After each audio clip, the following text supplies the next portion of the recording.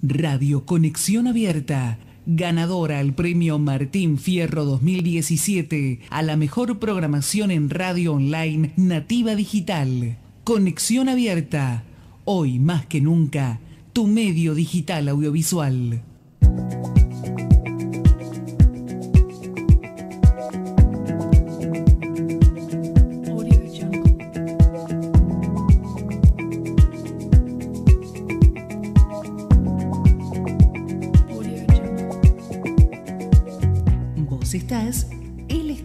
En directo, sin intermediarios. Bremer en conexión abierta.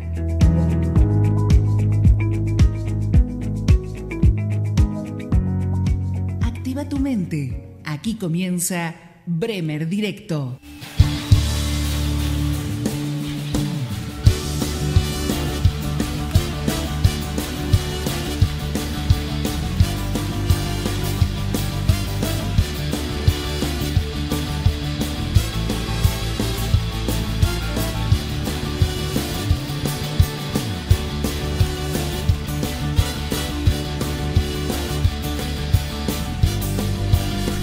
Bienvenidos a una semana con un arranque increíble. Arranca Bremer Directo por Conexión Abierta.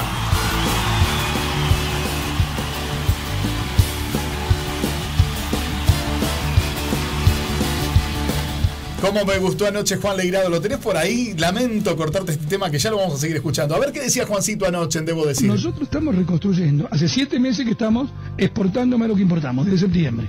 Eso es serio, es profundo. No, lo que es profundo y Pero serio. No, no, sí, pero, Bueno, pero- pero te dejo, te dejo, Hernán, ¿no? pero no, porque yo ya sé igual lo que vas a decir, que está bien. Entonces, vos a lo mejor no sabés lo que voy a decir. Es profundo, en serio, venimos hablando en todos los programas, es bárbaro, qué sé yo, todo genial. Y nadie se acuerda del tipo o el pibe que está, que tiene hambre. Ahora nadie se acuerda de que lo toma leche. ¿Por qué no paramos todo entre todos? Hacemos una vaca acá, lo que tenemos algo. Los que en el gobierno, los que tienen más dinero que la mayoría es la gente del gobierno y los que los rodea. ¿Por qué no ponemos, hacemos una vaca y mañana, mientras, esperá, Sí, mientras sí, planificamos sí, el futuro, toda esta historia, eh, evitamos que el chico se muera de hambre?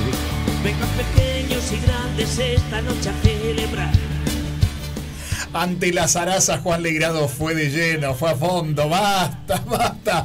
Basta de morcilleo, como decía en su momento Fidel Pintos. Basta de zaraza. Basta de flan. Basta de flan que ni siquiera ponen los huevos. Así arranca. Bremer directo en conexión abierta. Ocupen su localidad y presten todos atención. A punto está de levantarse el telón. Hoy puede ser un gran día, plantéatelo así. Jorge Fontevecchia, editor del diario Perfil, dio duro ayer a Luis Toto Caputo. ¿Se acuerdan del Messi de la finanza? No, este hombre la tiene clarísima, te juega con la pelotita, te va para un lado, para el otro. 15 mil palos verdes se fugaron con su intento de estabilizar la moneda, que no estabilizó nada, sino que se desestabilizó. Y mientras tanto, 15 mil millones se la llevaron. ¿Quiénes? Especuladores, financistas, que son muy poquitos y conocidos. Somos pocos y nos conocemos mucho. Aprenderán aquí todos los misterios del amor.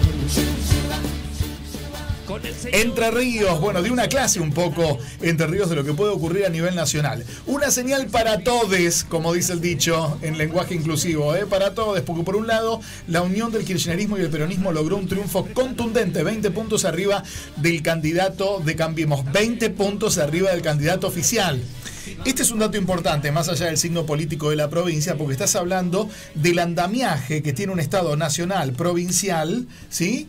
Como para poder apoyar a un candidato. Ese perdió por 20 puntos. por descubrir si lo empleas como el último que te toca vivir. Saca de paseo a tus instintos y sol.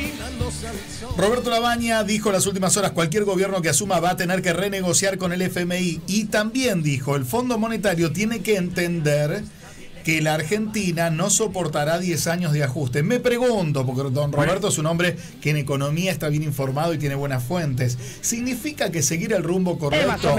Seguir ese rumbo correcto, como dice Christine Lagarde y como dice el presidente Macri, sería 10 años de ajuste. Yo creo que ya con estos tres tenemos entendida la lección, porque los changuitos chocan en el supermercado a la hora de tener que cargar un producto más. Quesos que vi este fin de semana, 900 mangos un queso Gouda, 900 pesos el kilo. 900 pesos. Compré una bolsita de queso rallado, este, y no quiero, eh, que no escuche Gustavo, porque estuvimos comiendo con Gustavo, va a pensar que le estoy contando las monedas delante de los ojos, pero la bolsita de queso rallado, 100 manguitos, 100 manguitos una bolsa de queso rallado.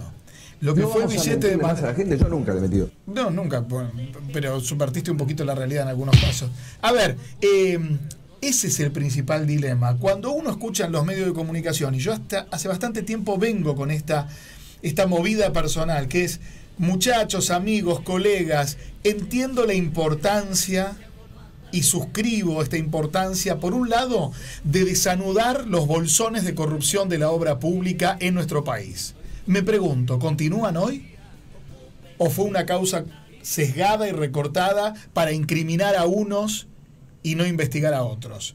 Y por otro lado, en el caso D'Alessio y el caso que involucra al fiscal Stornelli, desde luego que deben allanarse todos los caminos para investigar si hay una actividad paraestatal de investigaciones, por no decir de espionaje, que se dedica a tabicar, traccionar, enmudecer dirigentes políticos, periodistas, poner un clima de información y hacer justamente una remarcación de un tema en particular por sobre otros. Sin embargo, me pregunto, el tema hoy es, no hay productos en los supermercados.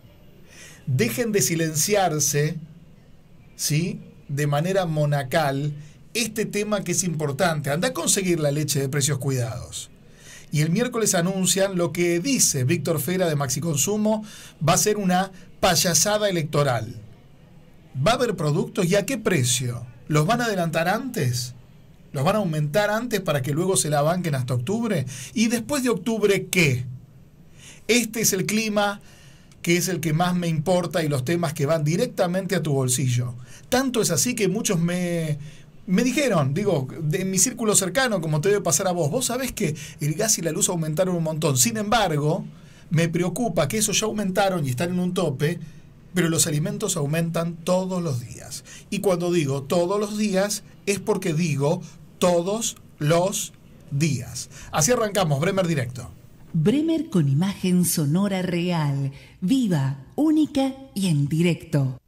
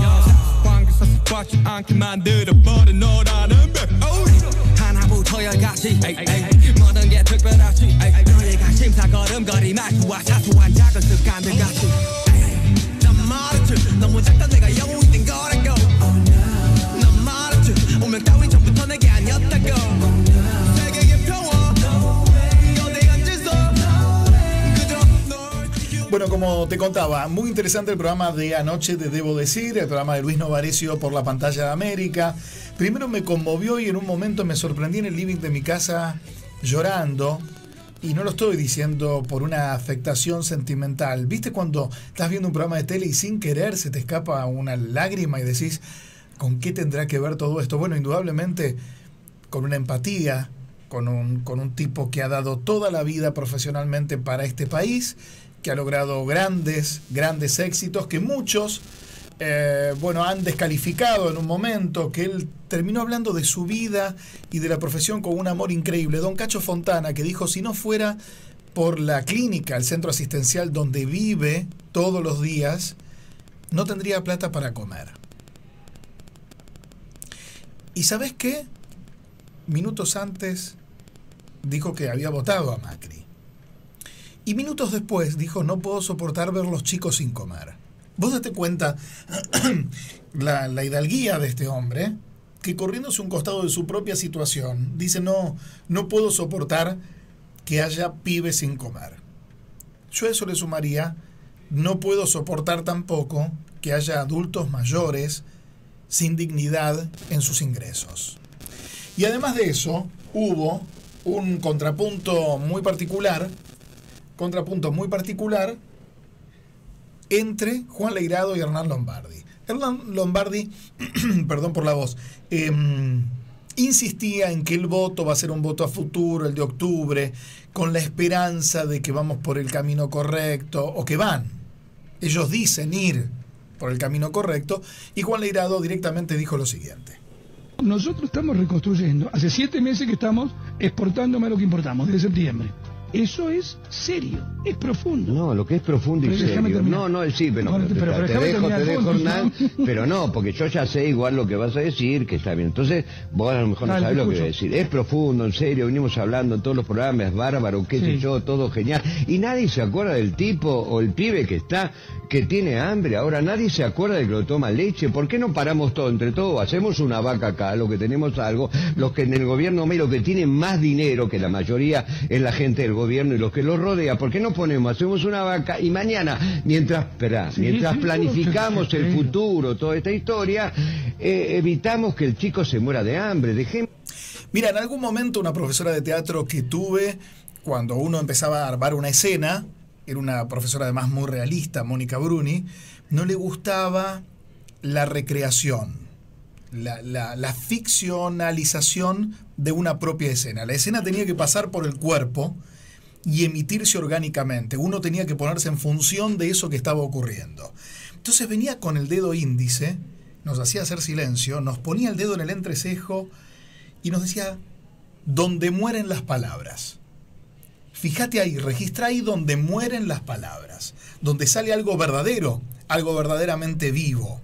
Y creo que además de ser uno de los grandes actores argentinos, Juan Leirado lo tiene tan claro que puso un, un fin al chamullo. Juan, muy buenos días. Luis Bremer te saluda. Juan, Juan, ¿me escuchás? Hola, hola. Bueno, retomamos en un ratito. Te decía por esto de que Hernán Lombardi, y obviamente es comprensible, Hernán Lombardi lo que tenía que hacer era, a ver, dar un marco de cierta esperanza, de, de- cierta ilusión, de cierto positivismo. Hay mucho ruido en el, en, el, en el coso y tengo el celular lejos. No sé qué pasa, pero me está eh, molestando. Em, tenía que dar un marco, obviamente, de cierta seguridad, de cierta esperanza a el cuerpo político al que él pertenece. Estamos hablando de Cambiemos. Por lo tanto, estaba hablando no de la situación actual, sino de volver a apostar por el futuro.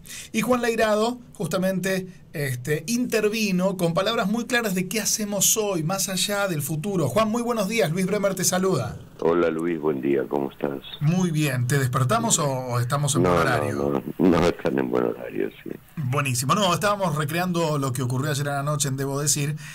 Y tu intervención donde todos nos sentimos muy, muy en sintonía, ¿no? Más allá de ese futuro que nunca llega, de la zanahoria del burro, del segundo semestre, ¿qué hacemos hoy? ¿Cuál es la foto que ves vos de, de tu sociedad, de la sociedad argentina? Bueno, Luis, un, un poco, bueno, fue lo que dije ayer, me hubiese gustado decirlo más tranquilo, yo trato siempre de, de bajar un poco para que se entienda un poco más, pero bueno, no dejo de ser yo mismo siempre el que hablo, no es un personaje, entonces bueno, me pasan esas cosas, pero sin falta de respeto yo me refería a... No tengo mucho más que agregar, Luis. Este, yo creo que podemos evaluar, ver, trabajar, pensar, proyectar 200 mil cosas con eh, varias suertes. Eh, pero el aquí y ahora es lo importante, porque para la vida de un ser humano, de todos nosotros, existe el momento este. Es verdad que hay cosas que uno tiene que ir trabajando y dándole el tiempo, pero digamos, ¿cómo hace para darle uno el tiempo a la necesidad de Si no alimentarse? no de lo básico entonces este creo que ahí tiene que haber una urgencia estoy seguro y hay que parar muchas cosas o por lo menos crear algunos este, algunos espacios de donde se pueda realmente extraer este, el, capital que se necesita para paliar este, este momento en cosas básicas. Y eso creo que tiene que ser así, es posible, es totalmente posible, porque en realidad, bueno, nosotros como ciudadanos este, somos, este, como todos, dueños de este país y tenemos el derecho de, ¿no? de decir que se destine determinado dinero, aunque estemos en crisis, para estas cosas básicas.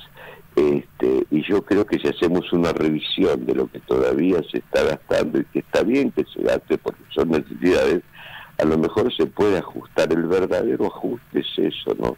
Ajustarse por la realidad básica que tiene el ser humano, piense lo que piense y haya votado lo que haya votado. Hay distintas lecturas, ¿no? Los economistas son más claros en esto, más allá de que la economía es una ciencia humana y no exacta. Hay quienes privilegian justamente esa macroeconomía que a la vez sostiene un conjunto de finanzas que tienen que ver con una rueda especulativa que se disparó en nuestro país, y otros más humanistas que dicen, no, no, sin pueblo no hay posibilidad de pago futura.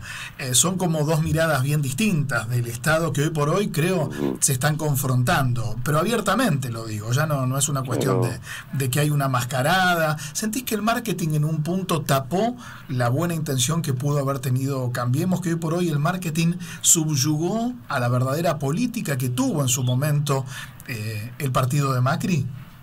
No sé, Luis, a veces por actores que somos y porque tenemos un espacio, nos vemos obligados y a veces nos equivocamos en, en- en- en comentar cosas que no conocemos, digamos. Yo, mi opinión es de ciudadano, actor, con un conocimiento realmente de la realidad, pero como ciudadano tengo una posición tomada, tengo un sentimiento y una sensibilidad que la llevo desde hace años y yo este, decido hablar desde ahí. Por eso me refiero a estas cosas básicas. No puede haber este, ningún proyecto político, sea lo, que sea, que no atienda las urgencias de la gente que sufre día a día. Entonces, insisto, se puede evaluar si estos se equivocaron, no se equivocaron, no sé, cada uno hará este, su evaluación y pondrá su pensamiento propio para elegir nuevamente y ver realmente qué quiere elegir después experiencia este, y verá qué es lo que hace, pero insisto, esas son cosas que los economistas pueden estar este, acertados o no en evaluaciones a futuro, a pasado, pero acá hay algo presente, insisto, que no podemos dejar pasar por alto. Y cuando nos enganchamos solamente en hablar de las grandes cosas y demás, que hay que hacerlas, yo no sé cómo el Congreso, por ejemplo, no no no, no se interviene. abre, no se abre y no interviene para, para hablar de esto. Se hacen sesiones, algunas son útiles, unas otras no. no Bueno, cuando hablamos con distintos diputados de la oposición aquí en Bremer Directo, Juan, nos dicen que en las comisiones, que es donde se tratan los proyectos, eh, en muchas tiene la mayoría Cambiemos y no se presentan ni siquiera como para tratar esos proyectos que luego irían a Cámara. Bueno, Digo, igual estamos todos, yo tengo la misma mirada que vos, creo que hay un punto donde el chamullo no puede tapar la realidad y nos encontramos con una realidad dolorosa. Bueno, si el Congreso no, no se puede hacer eso, habrá que inventar de otra forma, Claro. realmente, o manejar la Constitución que diga para casos de urgencia, de vida y muerte, si hay una oposición o un oficialismo que se niega a tratar determinadas cosas, bueno, se tratará en la pizzería de la esquina.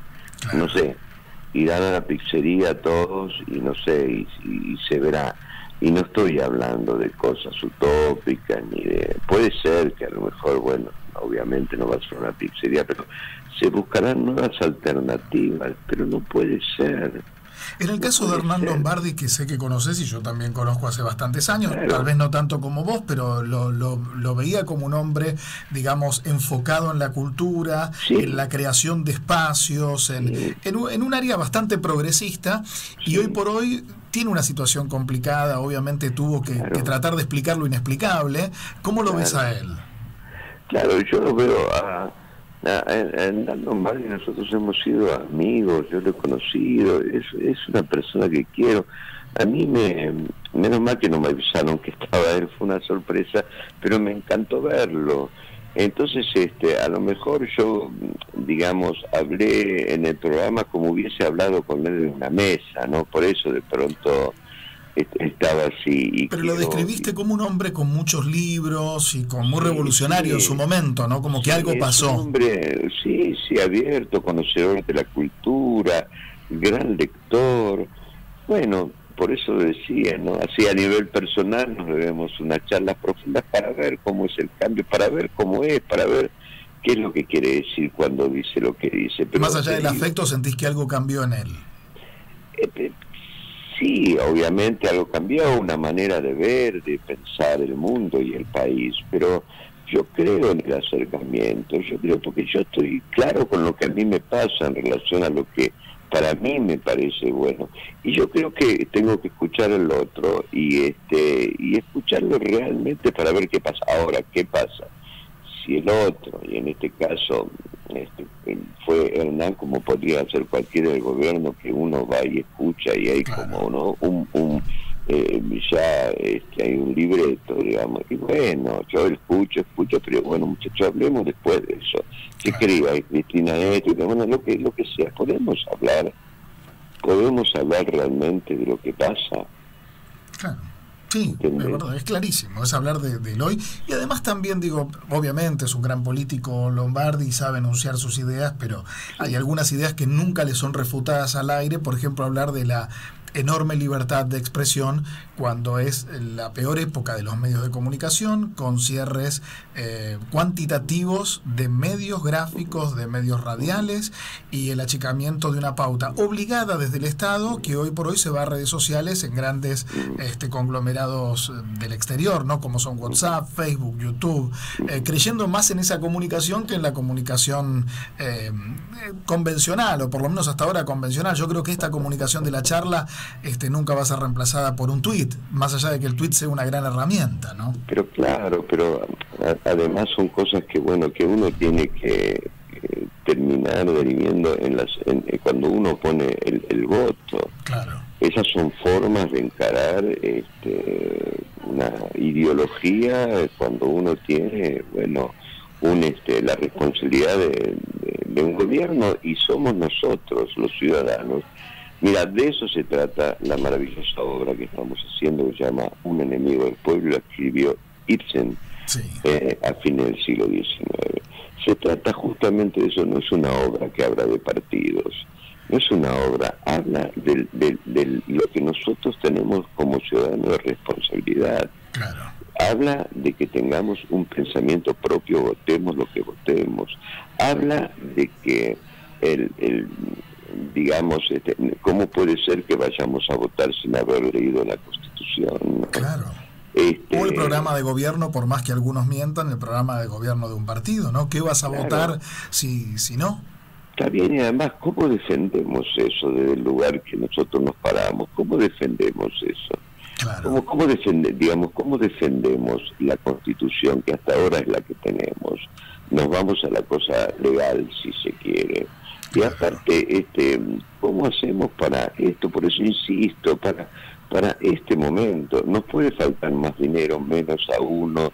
Este, todos estamos en la misma, todos estamos apretadísimos, todos tenemos que hacer. Estaba haciendo Malabares, ahora. malabares. Me pidió cuentas y cada vez que hago cuenta que se me quiero matar y yo no soy un tipo que, digamos, tengo una vida normal, tengo una casa, voy, me voy en subte este, al teatro cuando puedo, pero porque me gusta y porque quiero al subte y demasiada parte realmente. Tengo que ir todo el día al teatro. Es la forma más que- cómoda, además. Y Pero más, además más tengo que pagar 400 mangos este, por día para, o, o un poco Los garage, estás para, para hablando. llegar a Malanasti y demás. Y uno va al teatro, va a porcentaje, está todo bien, estoy contento, feliz, pero bueno, es un, digamos... Es un presupuesto que- aparte. Es, es un presupuesto aparte, y bueno, y no, no da, entonces me pasa a mí. Imagínate lo que le pasa viste a una persona que tiene chicos, mis chicos son grandes, entonces digo, yo no puedo pasar por alto por esto y darle ahora tiempo cuando tengo un espacio en televisión, en los medios, de hablar de cosas importantes, pero que en este momento hay que dejarlas un poco al lado. Por supuesto que es importante todo lo que se habla, lo que hay que hablar en profundidad, pero podemos hablar de esto, podemos decidir hoy a ver concretamente qué hacemos, porque el hambre no espera la panza, un niño no, No. espera. Pongámonos en ese lugar, un padre, una madre, ellos mismos teniendo hambre, porque es real, no es una... No, sí, sí. En muchos comedores van los chicos y los padres o tíos se quedan afuera con cierta vergüenza. Que, que un poco me pasó ayer, Juan, eh, con, cuando escuché a Cacho y me sorprendí en el living de mi casa con una lágrima en el ojo, porque Sí. Cacho, o sea, se autoinculpaba de haber Sí. sido un mal administrador cuando un profesional eh, una vez jubilado, debe tener por lo menos asegurada, más allá de su administración, mejor o peor, el sustento. Y él decía que si el centro de salud que lo atiende y lo asiste no estuviese, él no podría, no le alcanzaría para comer.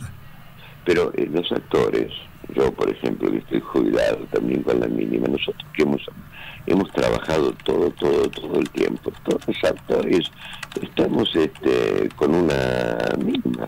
Claro. Entonces, este, el actor es así, hay mucha fantasía sobre la vida de, del actor. Y el, el, el 99,99% somos laburantes, que a veces yo digo, ¿no? La profesión nuestra, nosotros somos este, desocupados que a veces trabajamos. Seguro, seguro. No es un, somos. un empleo eventual. No somos trabajadores que a veces estamos desocupados. Entonces, claro, vos estás en la pantalla, vos te ven, pero vos ya eso lo cobraste, lo comiste, lo... lo Sí. ¿no? Y otros Este, siguen facturando una publicidad que a veces, ahora bueno, ahora te puede llegar, digamos, por Sagay la repetición, pero también son valores eh, muy luchados primero. Yo reconozco Sí, muchísimo la tarea de Sagay, Mucho. pero, pero hay poco trabajo, solo para un 5% de la comunidad de actores. Juan, te agradezco estos minutos. Un enemigo del pueblo es una obra indispensable, pero para abrirnos los ojos de aquí para siempre, ¿qué días y en qué teatro? Repetime. Estamos en el Tabarisco Mafia y en la calle Corrientes al 800. Estamos los miércoles, jueves y viernes a las 20 horas, sábado 19 y 30 y 22 y domingos 19 y 30. Los esperamos. Vamos a estar ahí. Un gran abrazo y gracias por estos minutos. Un abrazo a vos, adiós. Juan Leirado, el primer actor, vayan a ver Un enemigo del pueblo, de verdad, la Vía Mar del Plata, maravillosa obra, y poder repensar con más palabras que un título. Poder irrumpir en ese discurso que no acepta repreguntas como pasó anoche es un gesto de salud. Brindo por Juan Leirado. En tu mañana más personal, Bremer Directo te cuenta lo que otros callan.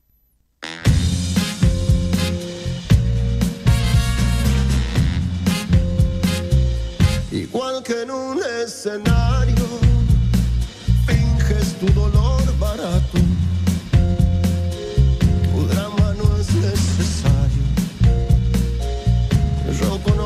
ese teatro, fingiendo que bien te queda el papel. Después de todo parece que esa es tu forma de ser. Yo confiaba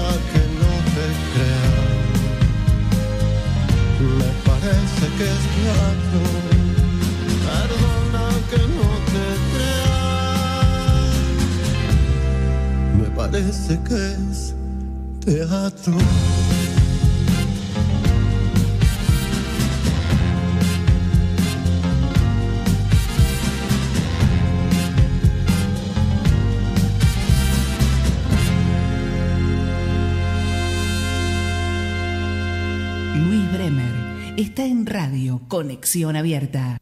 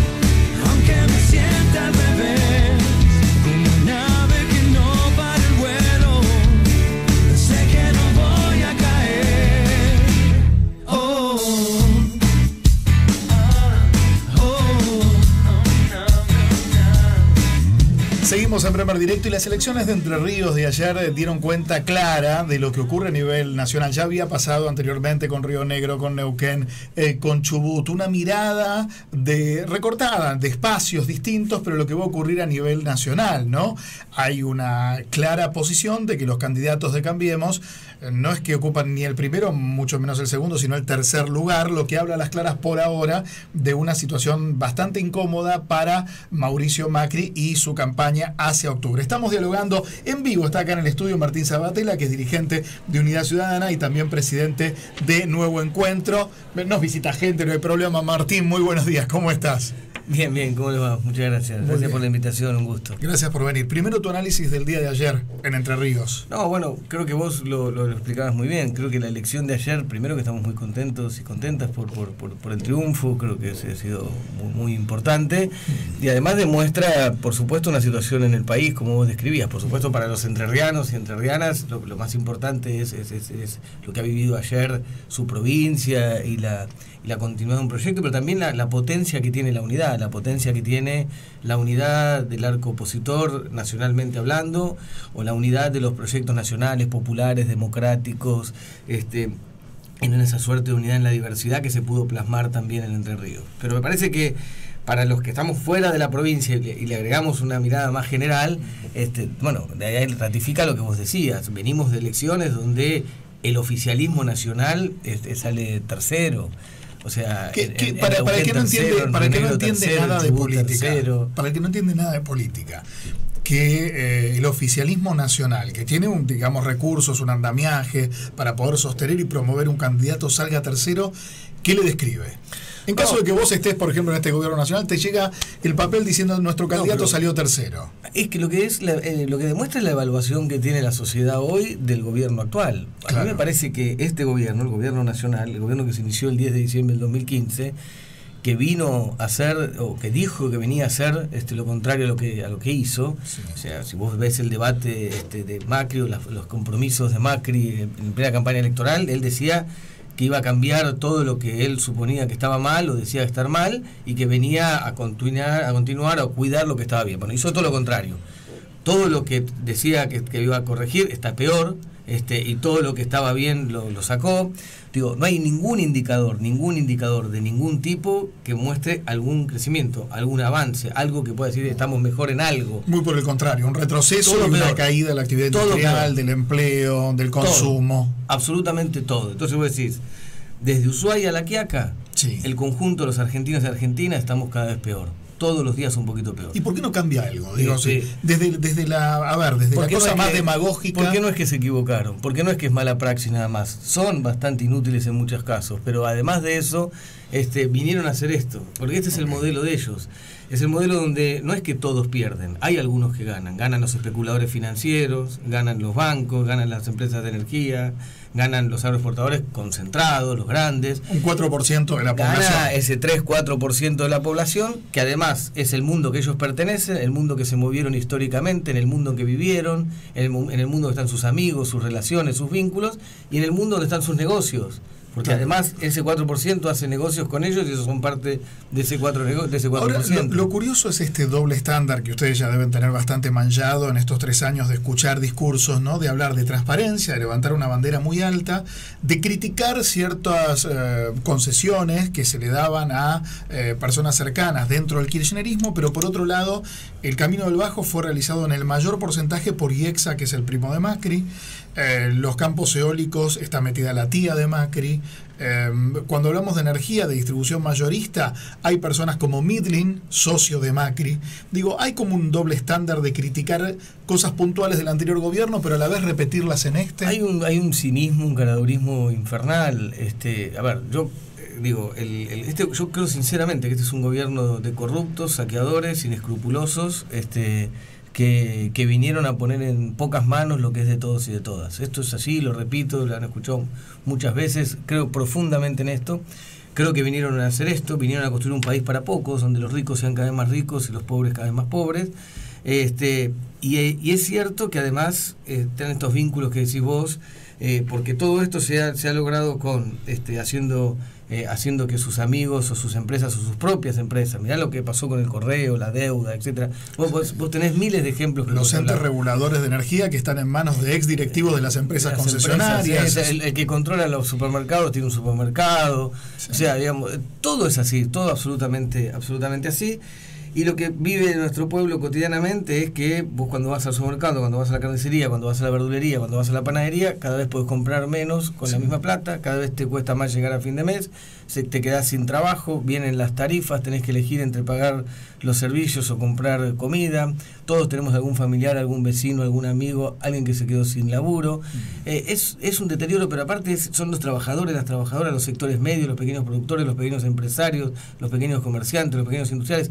Todos estamos peor. Estés en el lugar que estés, digamos, en el escalón social, para decirlo de alguna manera que estés, estás peor. Entonces, Yo vengo de Mendoza hace un mes y medio y los industriales de allí dicen que están a 40% de la actividad, vitivinícola especialmente, y que el consumo bajó más de un 15% interanual. Estamos hablando de el vino Todo. de mesa, el de 60 manguitos, el más económico. Pero por eso te digo, todos los indicadores, en el lugar que, que busques, todo, Están mal. todo está mal. Y además Ah, es un país sí. brutalmente endeudado, que vos decís, se endeudó un país, una, la- puro ¿Para qué? sentido ¿Para común. dónde? Puro sentido como decir, bueno, mira, pedimos plata para, para algo, nos endeudamos, como es una familia, pedís plata para comprar un auto, para comprar una casa. Bueno, ahí está, a la vez.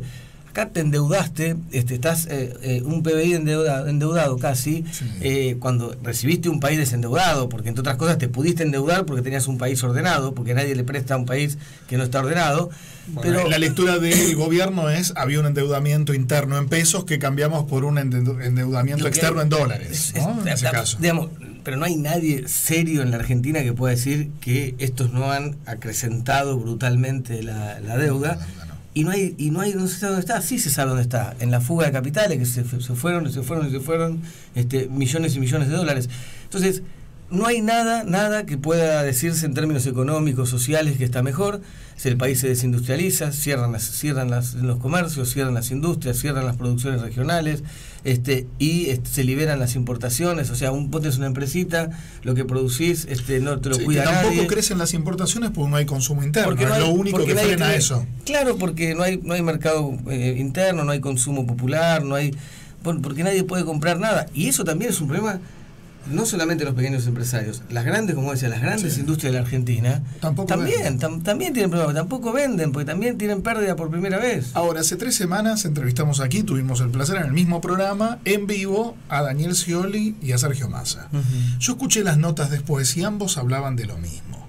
Entonces me pregunto, en esta diversidad de miradas que tiene el peronismo hoy, ¿cuál es la diversidad cuando enuncian de distinta manera, pero dicen lo mismo, buscan el mismo país?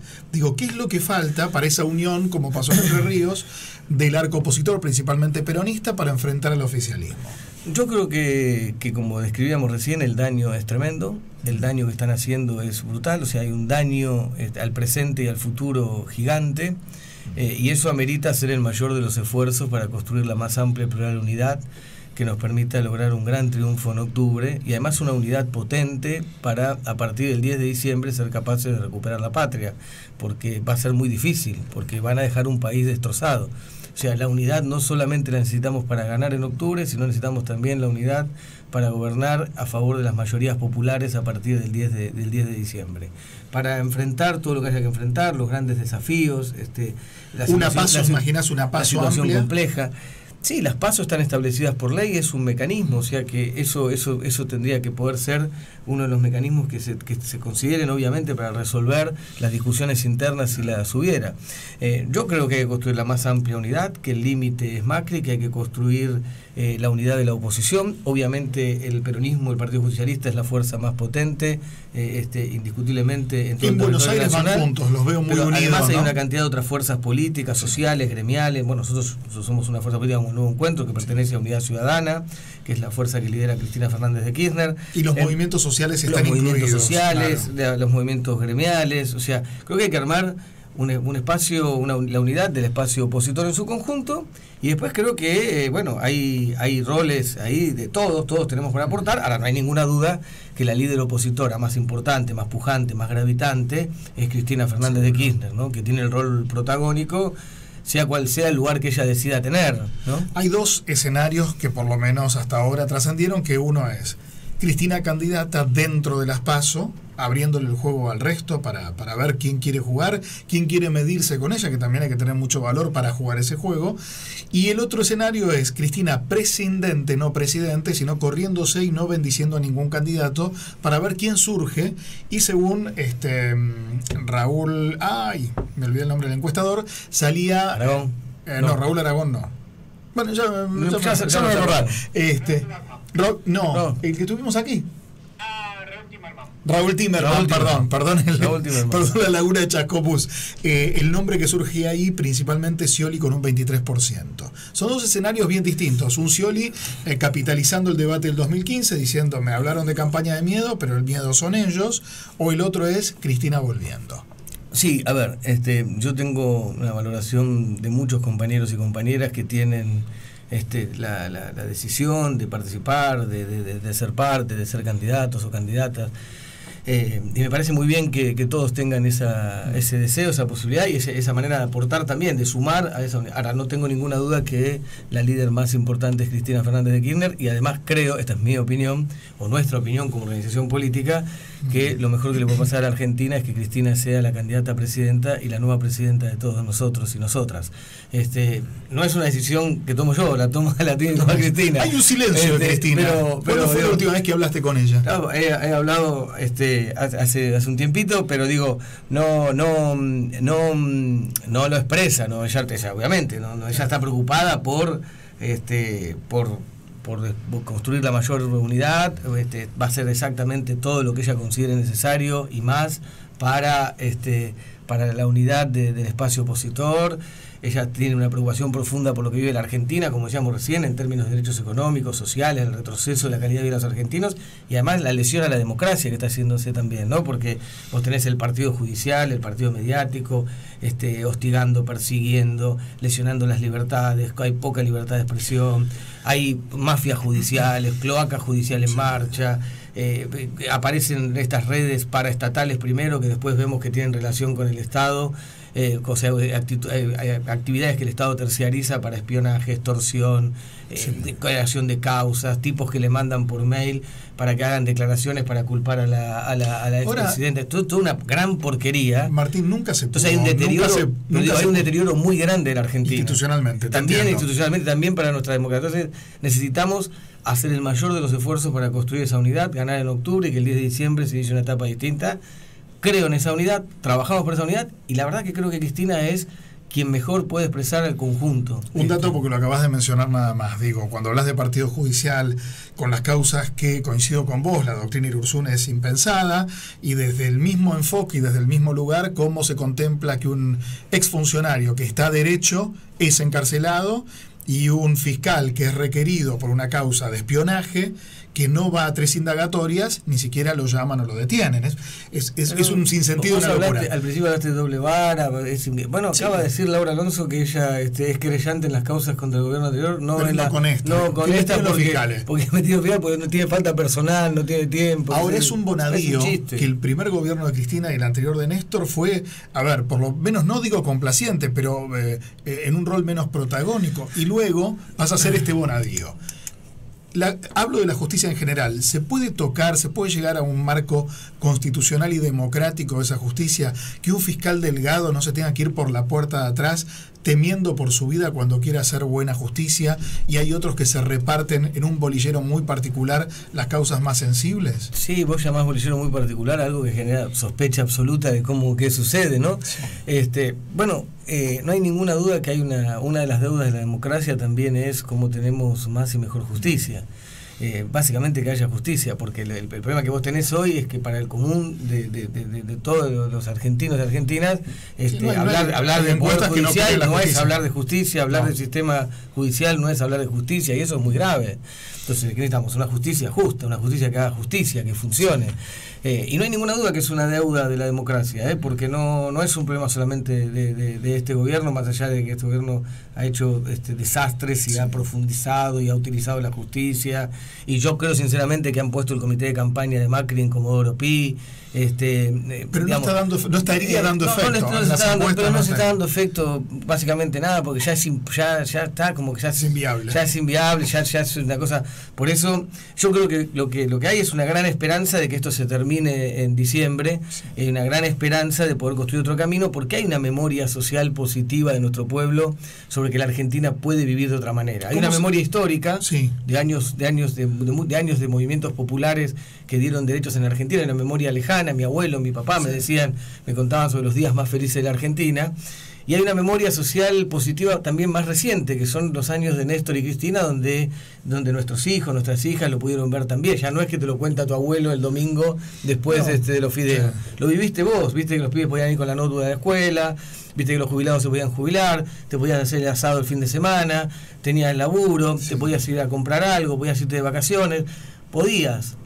Y hoy no podés más. es Eso es, curioso eso es, cuando- eso es así. cuando nos Lo que no significa que vamos sí. a hacer el, el próximo gobierno es repetir este, lo que ya se hizo, porque nada vuelve de la misma manera. No, y hay que empezar desde otro lugar Y bastante otro lugar. complicado, con un, un nuevo acuerdo con el FMI que va a haber que hacer, donde no hay una posibilidad de pago completo, como Néstor hizo en su momento de la deuda con el FMI, que a la vez te controla y hasta tiene las oficinas dentro del Banco Central de la República Argentina, un dato Bueno, simbólico, eso es otra cosa de, que es otra característica de este gobierno, que es la pérdida de soberanía, la pérdida de autonomía, la pérdida de independencia. Este, entonces, eh, eh, bueno, parte de las características también de este gobierno, que además de ser neoliberal es neocolonial, es conservador, es autoritario, es varias cosas. Te hago una pregunta en dos. Primero, ¿cómo imaginás eh, llegar todos? ¿Cómo llegaremos de acá a octubre?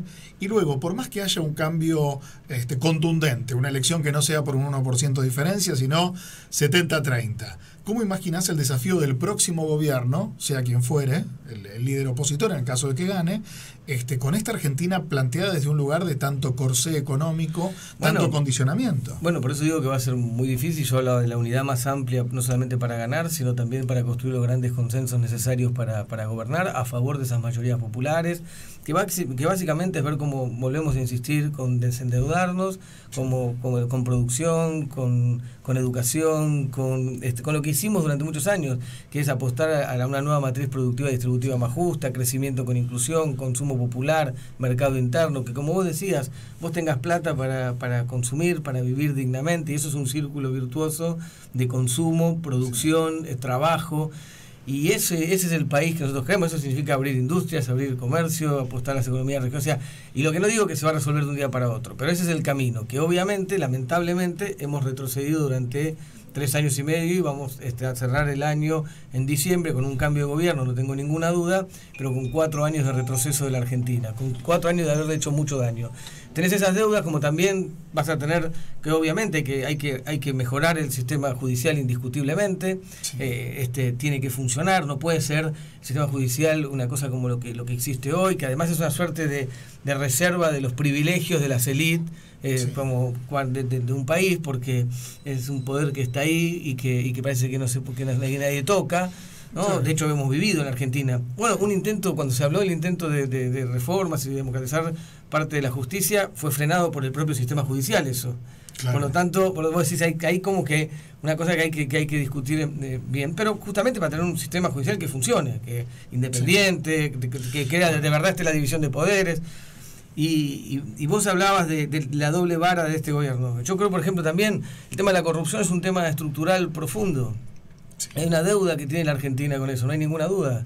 La corrupción es un problema estructural que atraviesa todos los estamentos del Estado, lamentablemente. Hay corrupción en el periodismo, en los empresarios, en la política, en la justicia, en la policía, eh, en el oficialismo, en la oposición, en todos lados. ¿Y la oficina anticorrupción con quién la imaginás? ¿Con un dirigente no, pero opositor? ya no es solamente eso, lo que Ah. digo es que hay que discutir políticas activas que, que enfrenten eso. Ahora, lo primero que hay que hacer es aceptar que, que es mentira que la corrupción pertenece a un proyecto determinado. Son dos cosas distintas. Es un problema estructural que, te- que, que existe Que en la Argentina, instituciones privadas y que públicas, atraviesa además. instituciones privadas, públicas, empresarios, periodistas, por, digo, por eso equipos de fútbol, todo.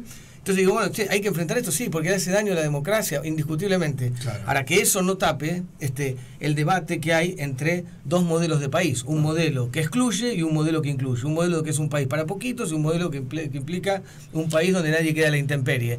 Pero es importante, obviamente. Bueno, también ahí hay temas pendientes a resolver de, de hace muchos años. Bueno, Fontevecchia, sin ir más lejos, te voy a decir dos cosas. Por un lado, Fontevecchia ayer dijo que en un país serio, el señor eh, Toto Caputo, alias el Messi de las finanzas, por haber eh, fugado el país con sus acciones políticas, más de 15 mil millones de dólares, debería mínimamente estar procesado y avanzando.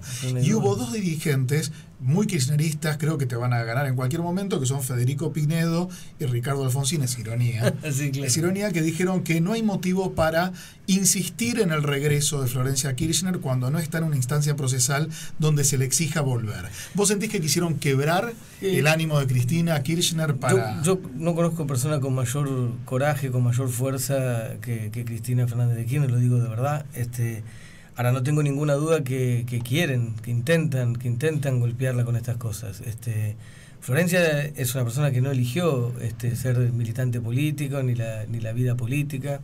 Eh, es, la hija de, de, de- de dos expresidentes y es este, la hermana de un dirigente político importantísimo en Argentina, pero ella no eligió ese mundo. Eh, y, la tienen de rehén, o sea, que, eh, la- buscan eh, eh, a Florencia como, como rehén, que la quieren, obviamente que están buscando con eso presionar o extorsionar a Cristina o, o- en todo caso influir negativamente para que Cristina no sea protagonista de- del armado que va a ganar y que eh, en octubre de este año. Yo no tengo ninguna, es, es rehén de, de- estos personajes nefastos que nos están gobernando.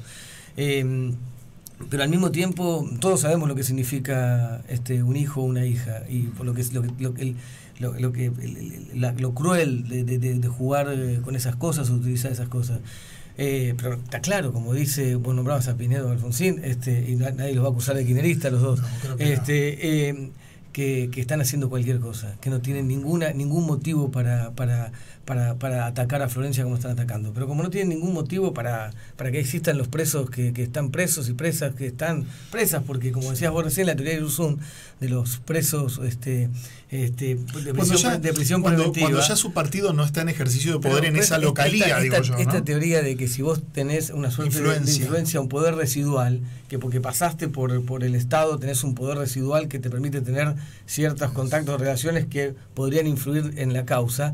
Ahora, pareciera ser que vos tenés más poder cuando te fuiste del poder Que cuando lo lo, tenías. cuando lo ejercés. O sea, eh, entonces, viste, va, va a haber un tipo que se va a presentar a elecciones y decir, no, mira, como me gusta el poder, me presento y renuncio rápido para tener más poder. Porque parece que, parece que tenés más poder cuando estás afuera. Última, sé que tenés muchos compromisos en la mañana de hoy. Siete candidatos a gobernador en la provincia de Buenos Aires. ¿Por cuál elegís vos hoy? No, no, yo no, no, no, no, te voy a dar eh, nombres, pero el, lo que sí creo es que, que hay, obviamente, un montón de candidatos y candidatas, este, eh, este, y, y veremos cuál es el mecanismo, el mecanismo que hay que, que utilizar para, para Mide resolver bien esto. Eh, Mide muy Axel, bien. Axel es un excelente dirigente y además Que no se este, transforma en rockstar, eh, ¿eh? porque este, ahora es llega a las este, localías y, y lo abrazan, le gritan, parece Mick Jagger y no nos está saliendo en Bremer directo. No, Comunicáselo, no, no. decirle que estamos muy ofendidos. No, no, Axel, tengo una, una gran admiración por, por, por Axel. Pero digo, el, lo que, yo creo que estuvo muy importante lo que hicimos en Avellaneda el, el sábado pasado. Porque lo que, lo que hicimos es, más allá de que por supuesto cada uno de nosotros puede tener mayor cercanía y mayor relación con, con uno u otro u otra eh, de, de los dirigentes de la, de la provincia de Buenos Aires, lo que quedó claro es que vamos a poner por delante la unidad. Y que sea quien sea el candidato o candidata en la provincia de Buenos Aires, vamos a estar todos juntos para lograr que la provincia pueda encontrar otro camino, porque no hay ninguna duda que Macri es Vidal y Vidal es Macri y que este intento de querer diferenciar a María Eugenia Vidal de, de Macri eh, ya quedó absolutamente claro que es imposible. Hasta el momento Vidal tiene un poco de mayor Sí, intención claro. de votos, cuatro Pero puntos más que dijo- Macri. Como dijo Axel el otro día, es María Eugenia eh, virtual, porque es una persona que está en las redes este, y después este, no se hace cargo absolutamente de nada de lo que pasa en la provincia. La provincia está muy mal, Mm. está muy mal, este, y, y eso es producto de la gestión de Macri y de la gestión de, de María Eugenia Vidal. No es ajena a la gestión nacional, decís vos. ¿Eh? No, es por ajena a la gestión supuesto que nacional. No, es parte del núcleo más duro, más, más chiquito, que ha permitido, entre otras cosas, que el ajuste brutal y el saqueo brutal que se está haciendo a la Argentina se implemente en la provincia de Buenos Aires de la mano de ella. Eh, así que eso es un equipo, además se jactan de ser un equipo este, desde hace muchos años, que trabajan juntos. Bueno, este, creo que, por eso digo, creo que tenemos que hacer un gran esfuerzo para construir esa unidad y poder entonces a partir del 10 de diciembre iniciar un camino de recuperación de, la Argentina. Vos nombraste la provincia de Buenos Aires, la provincia de Buenos Aires y también este, muchas otras provincias y también municipios de todo, de todo el país. Martín, muchas gracias por haber venido a la radio, por estos minutos y decirle a Axel que, que en un tiempo salía, en el 2016-17, que vuelva. Bueno, le digo, le digo, pero no, no debe tener ningún problema. No, pero está trabajando está mucho, sé trabajando que sí, mucho, está que sí. recorriendo toda la provincia. Está, Gracias por haber este, venido, de verdad, y veremos de acá a octubre los vaivenes que va a tener. Creo que una de las campañas para mí más dramáticas y con más interrogantes en muchos, en muchos lugares, pero también a nivel nacional. Veremos qué pasa de acá a octubre. Yo no tengo ninguna duda que este gobierno está terminado, que en octubre ganamos y que el 10 de diciembre ¿Asume quién? asume. Yo prefiero, yo quiero que asuma Cristina. Gracias, Martín Sabatella pasó por Bremer Directo. Información, análisis y buena música para construir imágenes propias con Bremer Directo.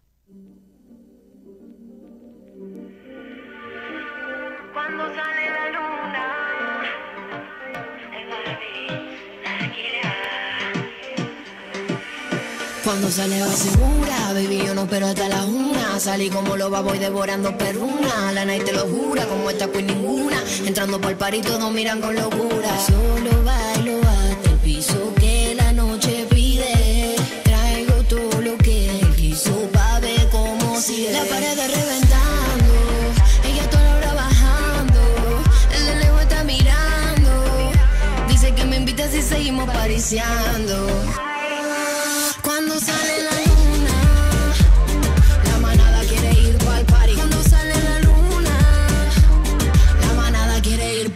quiere, ir pa'l, pa'l party. Quiere ir pa'l party. Quiere ir pa'l party. Quiere ir pa'l, quiere, quiere ir pa'l, quiere, quiere ir pa'l party. Botellas si no falta nada. Salió el sol y fuimos directo pa'l mar. Obvio que la music suena igual, igual. Hasta el DJ dijo que quería tripear. así más, abrimos que champagne. Todos los bullies estaban champ champagne. Ella buscándolo a Tony Montana él en mi party toda la semana. La pared reventando. Ella toda la hora bajando. El de lejos está mirando. Dice que me invita si seguimos pariciando.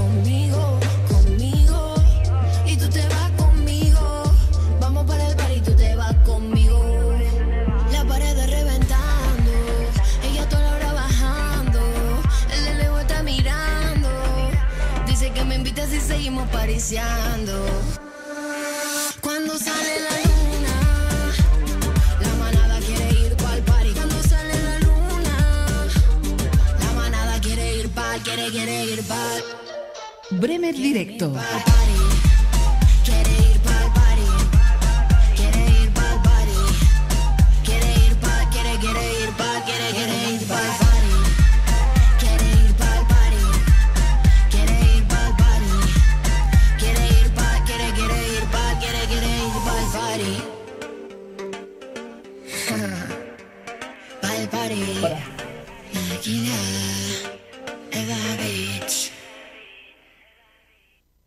El aire, Bremer en directo. En la frecuencia de la información. Pensando en ustedes, pensando en nosotros.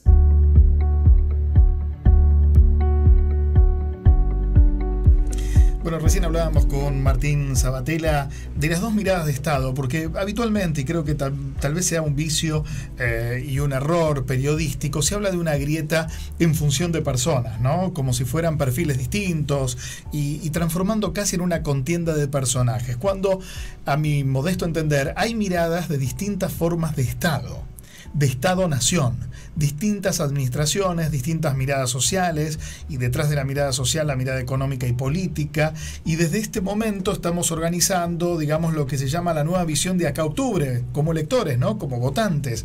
Eh, ¿Cuál es la administración que se ejerce hoy? ¿Qué cosas se privilegiaron y qué cosas se dejaron de lado? Y por otro lado, ¿cuál es la propuesta de los distintos partidos opositores? Para hablar de economía, estamos en comunicación con la economista Mercedes Marcó del Pont, exfuncionaria. Mercedes, muy buenos días. Luis Bremer la saluda. Buen día, Luis, ¿cómo le va? ¿Qué dice? Muy bien. Usted fue titular del Banco Nación y del Banco Central. Así es.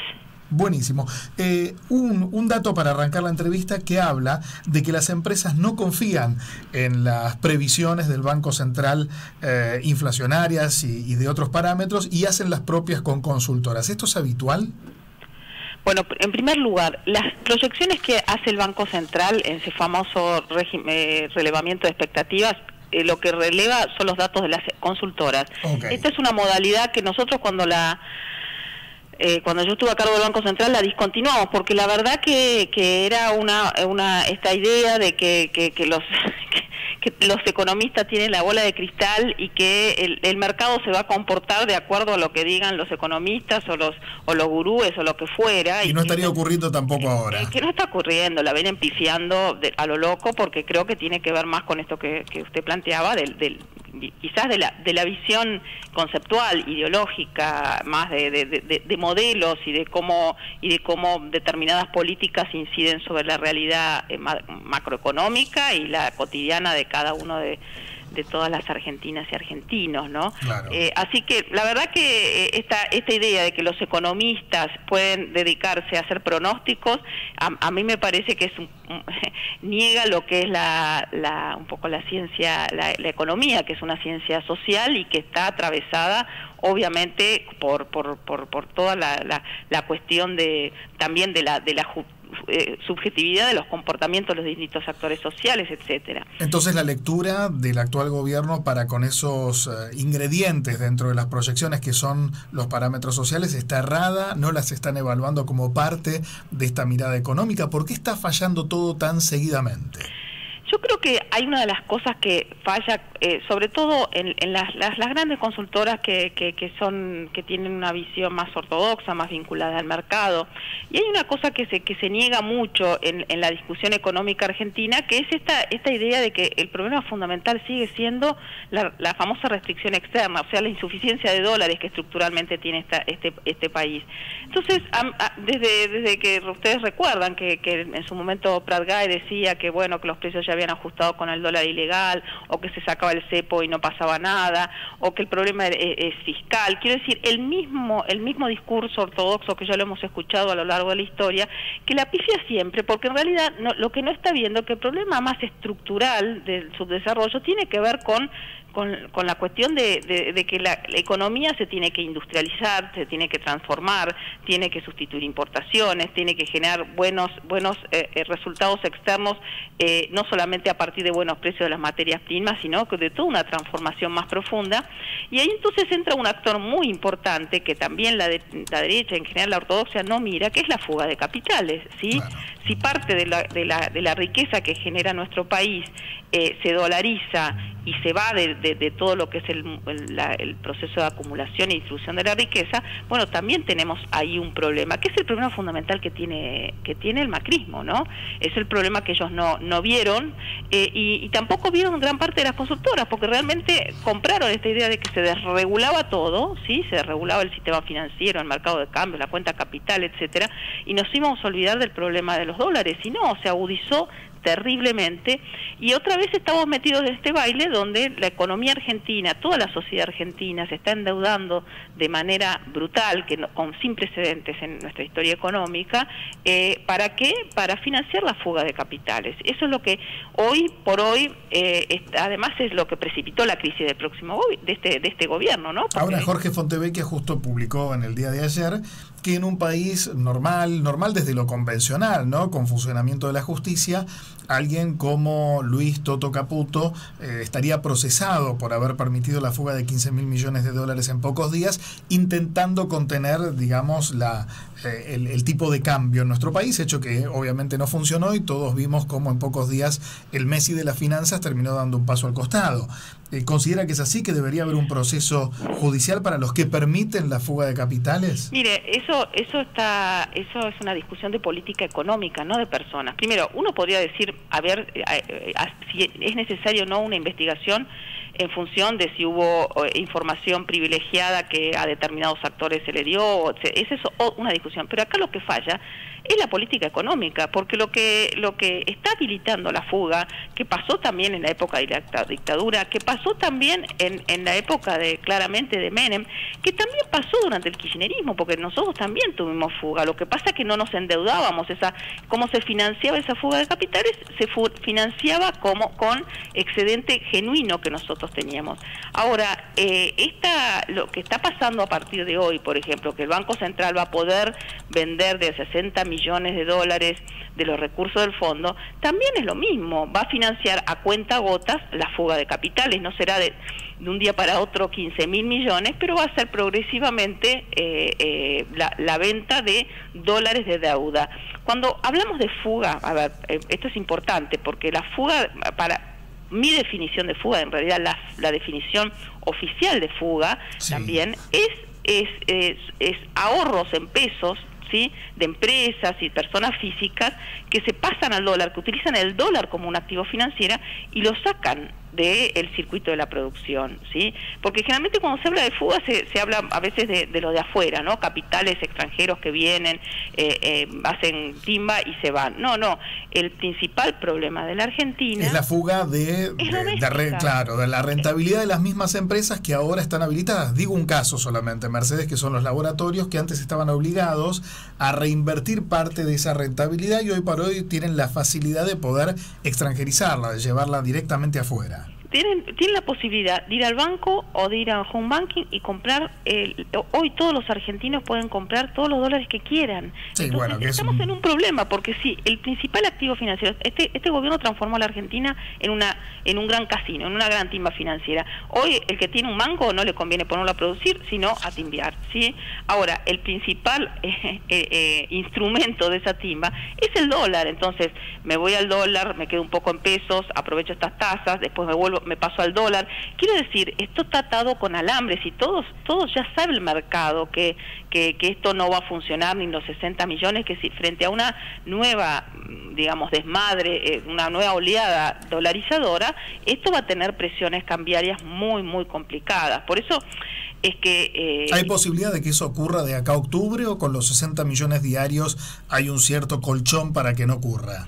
Yo tengo mi temor de que no va, no va a alcanzar eh, con esos 60 millones diarios ni con la liquidación de las exportaciones que, que estacionalmente ingresan en estos meses, porque la verdad que todavía hasta ahora eh, se ha tratado de que los, por ejemplo, los plazos fijos, que son récords, son muy altos los, los plazos fijos en pesos, por hay buenas tasas de interés, se queden en pesos, pero en algún momento, siempre, siempre en los procesos preelectorales ha habido eh, de- desplazamiento de los ahorros al dólar como, como, como refugio, como activo financiero, y creo que más aún, porque todos saben que, que estos desembolsos que de esta deuda que está tomando la Argentina es para llegar a octubre, ellos aspiraban a llegar a octubre, lo único que les interesa es llegar a octubre con calma cambiaria, y eso está cada vez más en cuestión. El tema es después qué, ¿no? Porque hasta ahora hay una promesa esperanzadora de que, eh, según el gobierno, van por el camino correcto, en el futuro está la solución, todo se nivela solo, el mercado organiza la vida de la gente.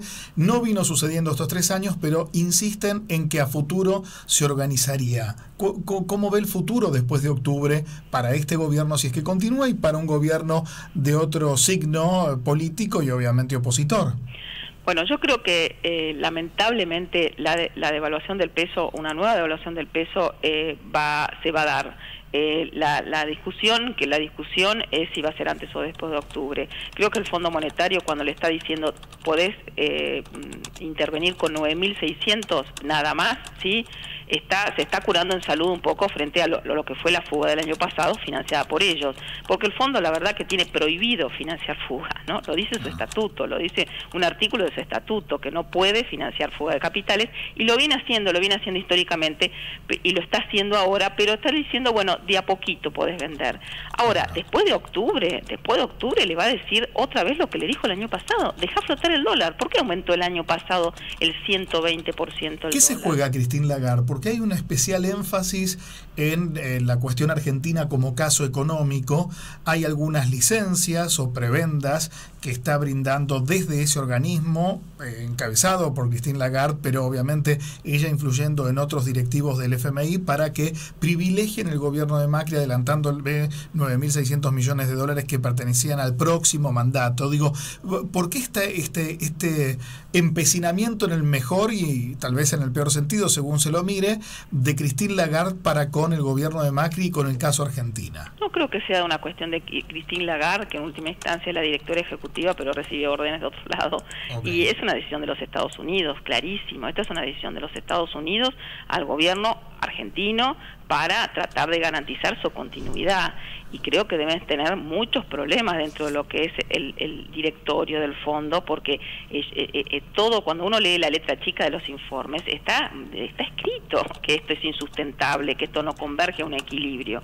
Entonces, ¿qué le van a pedir? Al, a ver, sepámoslo, ¿no? Ahora pararon un poco con todos estos pedidos de las reformas laboral, de la reforma previsional, inclusive de la Carta Orgánica, de hacer de Banco Central otra vez un actor absoli- absolutamente bobo, pasivo, que no puede hacer nada, no puede meterse con el crédito, no puede meterse con los bancos, no puede regular nada. Esa es la letra del proyecto que ya elevó el Ejecutivo. Entonces, eh, no va a prosperar, no va a prosperar porque estamos en, en periodo electoral, pero si llega a ganar este gobierno nuevamente, eso va a estar entre las primeras eh, eh, puntos de que le va a pedir a cambio de una de una reprogramación de la deuda, porque este gobierno o el, el- próximo gobierno que aspiro que sea un signo político distinto, se va a tener que sentar a reprogramar este esto, porque es impagable los servicios que tenemos que pagar en 2021-2022 no se pueden abordar sensatamente, no- nadie lo puede sostener eso. Vamos a la economía doméstica. ¿Cómo ve el desarrollo de esta economía suprimida, recesiva, ajustada, con gente que ya no es que no llega al 20, sino no llega al 10, de acá a octubre, donde no hay tampoco digamos, un avisoramiento de que vaya a haber una, una inyección de dinero, salvo los créditos desde ANSES que anunció el gobierno y alguna, a algún recálculo en las asignaciones eh, sociales que da. Sí, yo creo que son todas gotas de agua eh, frente a una situación muy recesiva, frente a una situación clara que está atravesando la economía argentina, que es de insuficiencia de demanda. No hay demanda. Y el gobierno ha tomado una opción. Si quiere mantener el, el el, eh, tranquilo el tipo de cambio, lo que va a tener que es garantizar la continuidad de estas tasas de interés de usura que hoy tiene la Argentina. Y va a tener que seguir avanzando en lo que le pide el fondo, que es el ajuste fiscal. ¿En algún país del mundo funcionó, eh, digamos, las sugerencias económicas del FMI? Yo recuerdo Grecia y Haití, donde, donde no funcionó. Algunos economistas ortodoxos dicen, bueno, en Grecia funcionó porque ahora tienen crédito al 3%. Bueno, ok, pero en el medio se fueron más de 250 mil personas de Grecia porque no se podía vivir en ese país. ¿En algún país sí funcionó y funcionó bien? No, no hay, no hay antecedentes, no hay antecedentes. De hecho, el, ejemplo que se está tomando de Portugal, ¿no? Como Portugal, que es un país que, que bueno, que le planteó al fondo, que le planteó al fondo eh, eh, eh, la, alternativa de, de, repagar la deuda no, no a través de las políticas más convencionales, sino de, de estímulo al crecimiento, también es algo que hay que tener en cuenta. Lo, lo hizo eh, sin, sin reestructurar el perfil de su deuda, ¿no? Esto eh, creo que, que esta tasa que usted me dice del 3%, etcétera, es porque son parte de la Unión Europea y hay un Banco Central Europeo que tiene determinados niveles de tasa en su momento de políticas expansivas de liquidez, pero bueno, que también en, esto se va a ir, se está dando vuelta y puede estar, puede estar más complicada si ya empieza un sendero creciente la tasa de interés en Europa. No, fracasaron siempre estos programas. Creo que hay que irse a la experiencia nuestra de lo que fue, fueron siempre los programas estos de ajuste en, en- en contextos de, de gobiernos además eh, claramente lo que fue el, de los 90, pero este gobierno, que en realidad tiene una ideolo- ideología muy muy parecida, ¿no? Ellos comparten un proyecto neoliberal. Eh, en el caso en el caso reciente de que tuvimos que ir corriendo a pedirle ayuda al fondo porque la verdad que, que no había forma de, financiar nuestro- nuestros compromisos externos, eh, este pulmotor que le otorgó el, el fondo a la Argentina, eh, sabemos que trae aparejado la imposibilidad de, cre- de un sendero de crecimiento sostenido, de la, de la industrialización, de lo que es el- el- la creación de empleo digno en la Argentina. No, estos, estos, estos proyectos neoliberales, eh, con o sin fondo, con o sin fondo, sepámoslo así, ¿no? porque este, este gobierno eh, instaló este proyecto neoliberal antes de junio del año pasado, desde el primer día cuando decide, asume y desregula y, y- y, eh, todo el sistema financiero, desregula todo el mercado de cambios y desregula eh, comercialmente a nuestro país, ¿no? La, la apertura comercial. Quiero decir, estos modelos siempre fracasaron en términos de bienestar y es lo que va a haber que revisar integralmente, sentarnos a renegociar con el fondo otro gobierno que tenga otro proyecto, que tenga otras prioridades, ¿sí? Otras prioridades y decir, bueno, a ver, a partir de qué condiciones nosotros vamos a estar en condi- eh, vamos a poder ir eh, devolviendo, pero con, con prioridad de- del crecimiento y del mercado interno y del empleo, ¿no? Clarísimo. Mercedes, muchas gracias por estos minutos con nosotros. ¿eh? Gracias a ustedes, les mando un abrazo. Un abrazo. Mercedes Marcó del Ponte, economista, en diálogo con Bremer Directo. En el aire, Bremer en directo, en la frecuencia de la información, pensando en ustedes, pensando en nosotros.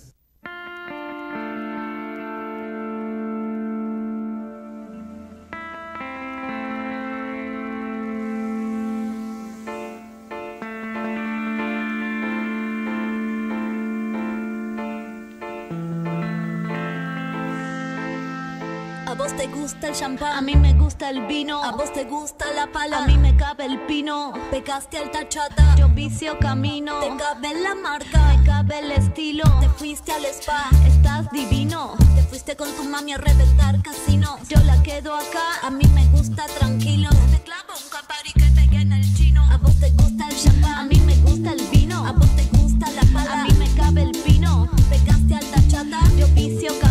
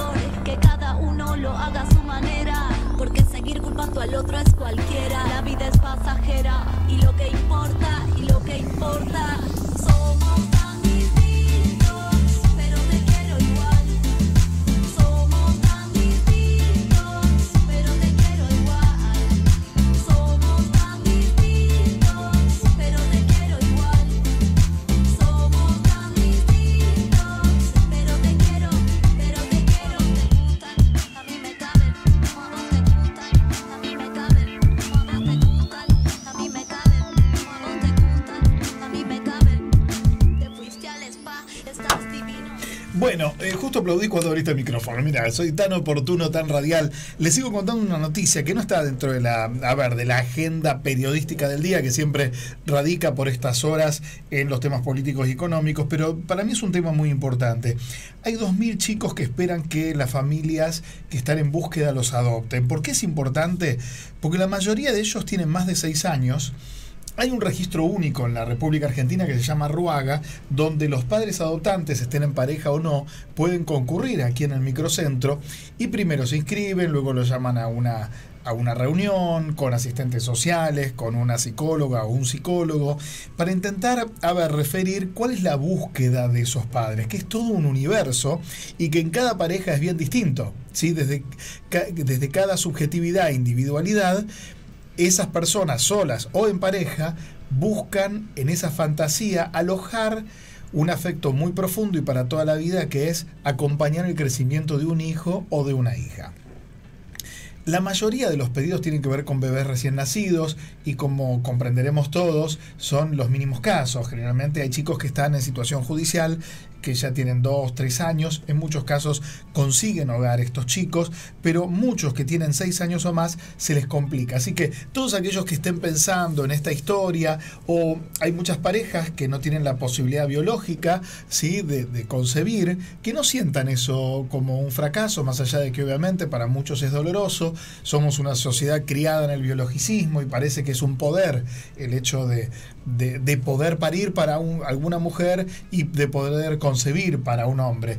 Más allá de eso hay una decisión para mí superadora, magnífica y poderosa que es elegir conscientemente y desde el amor, desde la responsabilidad y desde la entrega absoluta, recibir a un chico eh, como para empezar a construir de cero un vínculo de paternidad y de maternidad. Para mí es un hecho maravilloso. Aquellos que realmente estén en, en su tiempo interno, en la posibilidad y en el deseo absoluto de ir por eso, no lo duden. Hoy mismo busquen, eh, llamen por teléfono, sepan que hay un registro único de la República Argentina que congrega todos los pedidos y desde ahí se derivan a cada uno eh, de los juzgados provinciales. Solamente dos provincias no están dentro del Ruaga. Bueno, vamos a hablar ahora de teatro. Estuve el viernes en una obra, una comedia que es exitosísima, exitosísima. ¿Por qué me hacen señas detrás de la pecera? Rearte, hábleme. ¿Qué quiere? ¿Qué pasa? Lo, po- ¿Lo podés llamar en un ratito a Benja Rojas? Porque se llama Benja, no Seba. Benja Rojas. Hemos recibido llamados desde Grecia. Desde Grecia. Eh, ¿Lo tenés preparado? Escucha, mira, desde Grecia, un oyente de Bremer Directo que se enteró por, por mi Twitter que iba a estar Benja Rojas y nos mandó este mensaje. Eh, hola Luis, Eh, me llamo María, eh, soy desde Grecia. Eh, te mando ese audio para que te puedas saludar. Eh, que tengas un eh, lindo día. Y bueno, saludos para Benjamín Rojas, que es mi favorito actor. Mira vos, llegamos a Grecia, un beso, a Grecia, un beso muy, muy, muy grande y en un ratito lo vas a escuchar acá en Conexión Abierta a Benja Rojas. A Benja Rojas que va a hablar de una semana nada más. Una comedia maravillosa y de verdad, viste cuando uno va con, a ver, la mirada de es una comedia efectista, eh, de enredos, de puertas y después de ver tantas y tantas comedias, uno ya sabe lo que va a ver. Sin embargo, me sorprendí con un trabajo actoral de mucha comunión entre Flor Viña, Nico Vázquez y Benja Rojas, que entre los tres crean una energía propia. De verdad, son muy interesantes, muy divertidos y creo sí que el trabajo actoral supera la dramaturgia. que ellos tres dan algo mucho más poderoso que el texto en sí, que es muy divertido y muy efectivo también. Vamos un poquito de música y en un minuto nada más hablamos con Gabriela Acher. Luis Bremer está en Radio Conexión Abierta.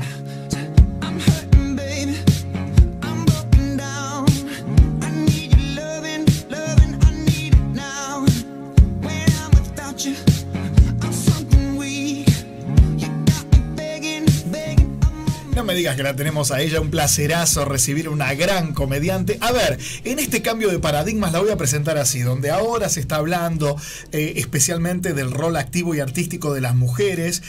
Ella rompió una, una punta de lanza en momentos donde la mujer, atreviéndose a hacer humor, indudablemente era una, una dificultad en un mundo tan machista. Sin embargo, ella abrió espacios, tuvo un programa a la medianoche, laburó con grandes de la escena. Gabriela Acher, muy buenos días, ¿cómo estás? Hola Luisito, muy bien, gracias, gracias por llamar y por esa presentación tan divina. Qué lindo que volvés a los escenarios, ahora al Chacarerian. Eh, sí, vuelvo al escenario más vieja que nunca. ¿Por qué decís eso?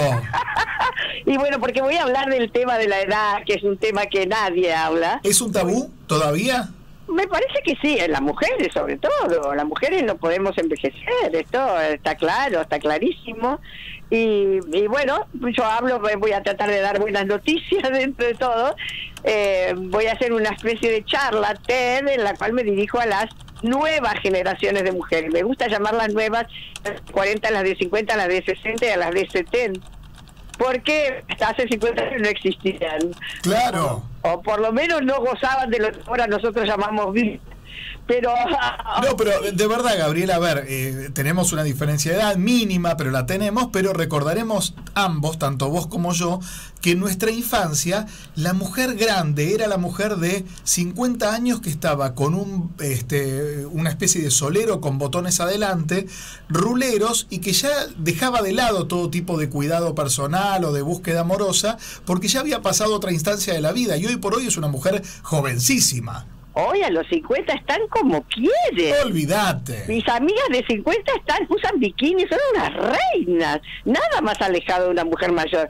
Es más, te cuento, cuando eh, eh, yo estaba era chica en mi barrio, se murió una señora. Y mi mamá me dijo que se murió porque quiso tener un hijo a los 40. Hoy todas tienen un hijo a los 40, ni se les ocurre a los 20 y pico. Yo primera que ninguna. Entonces, eh, eh, para mí los 40 eran el límite, el límite de la mujer, se terminaba su vida los 40.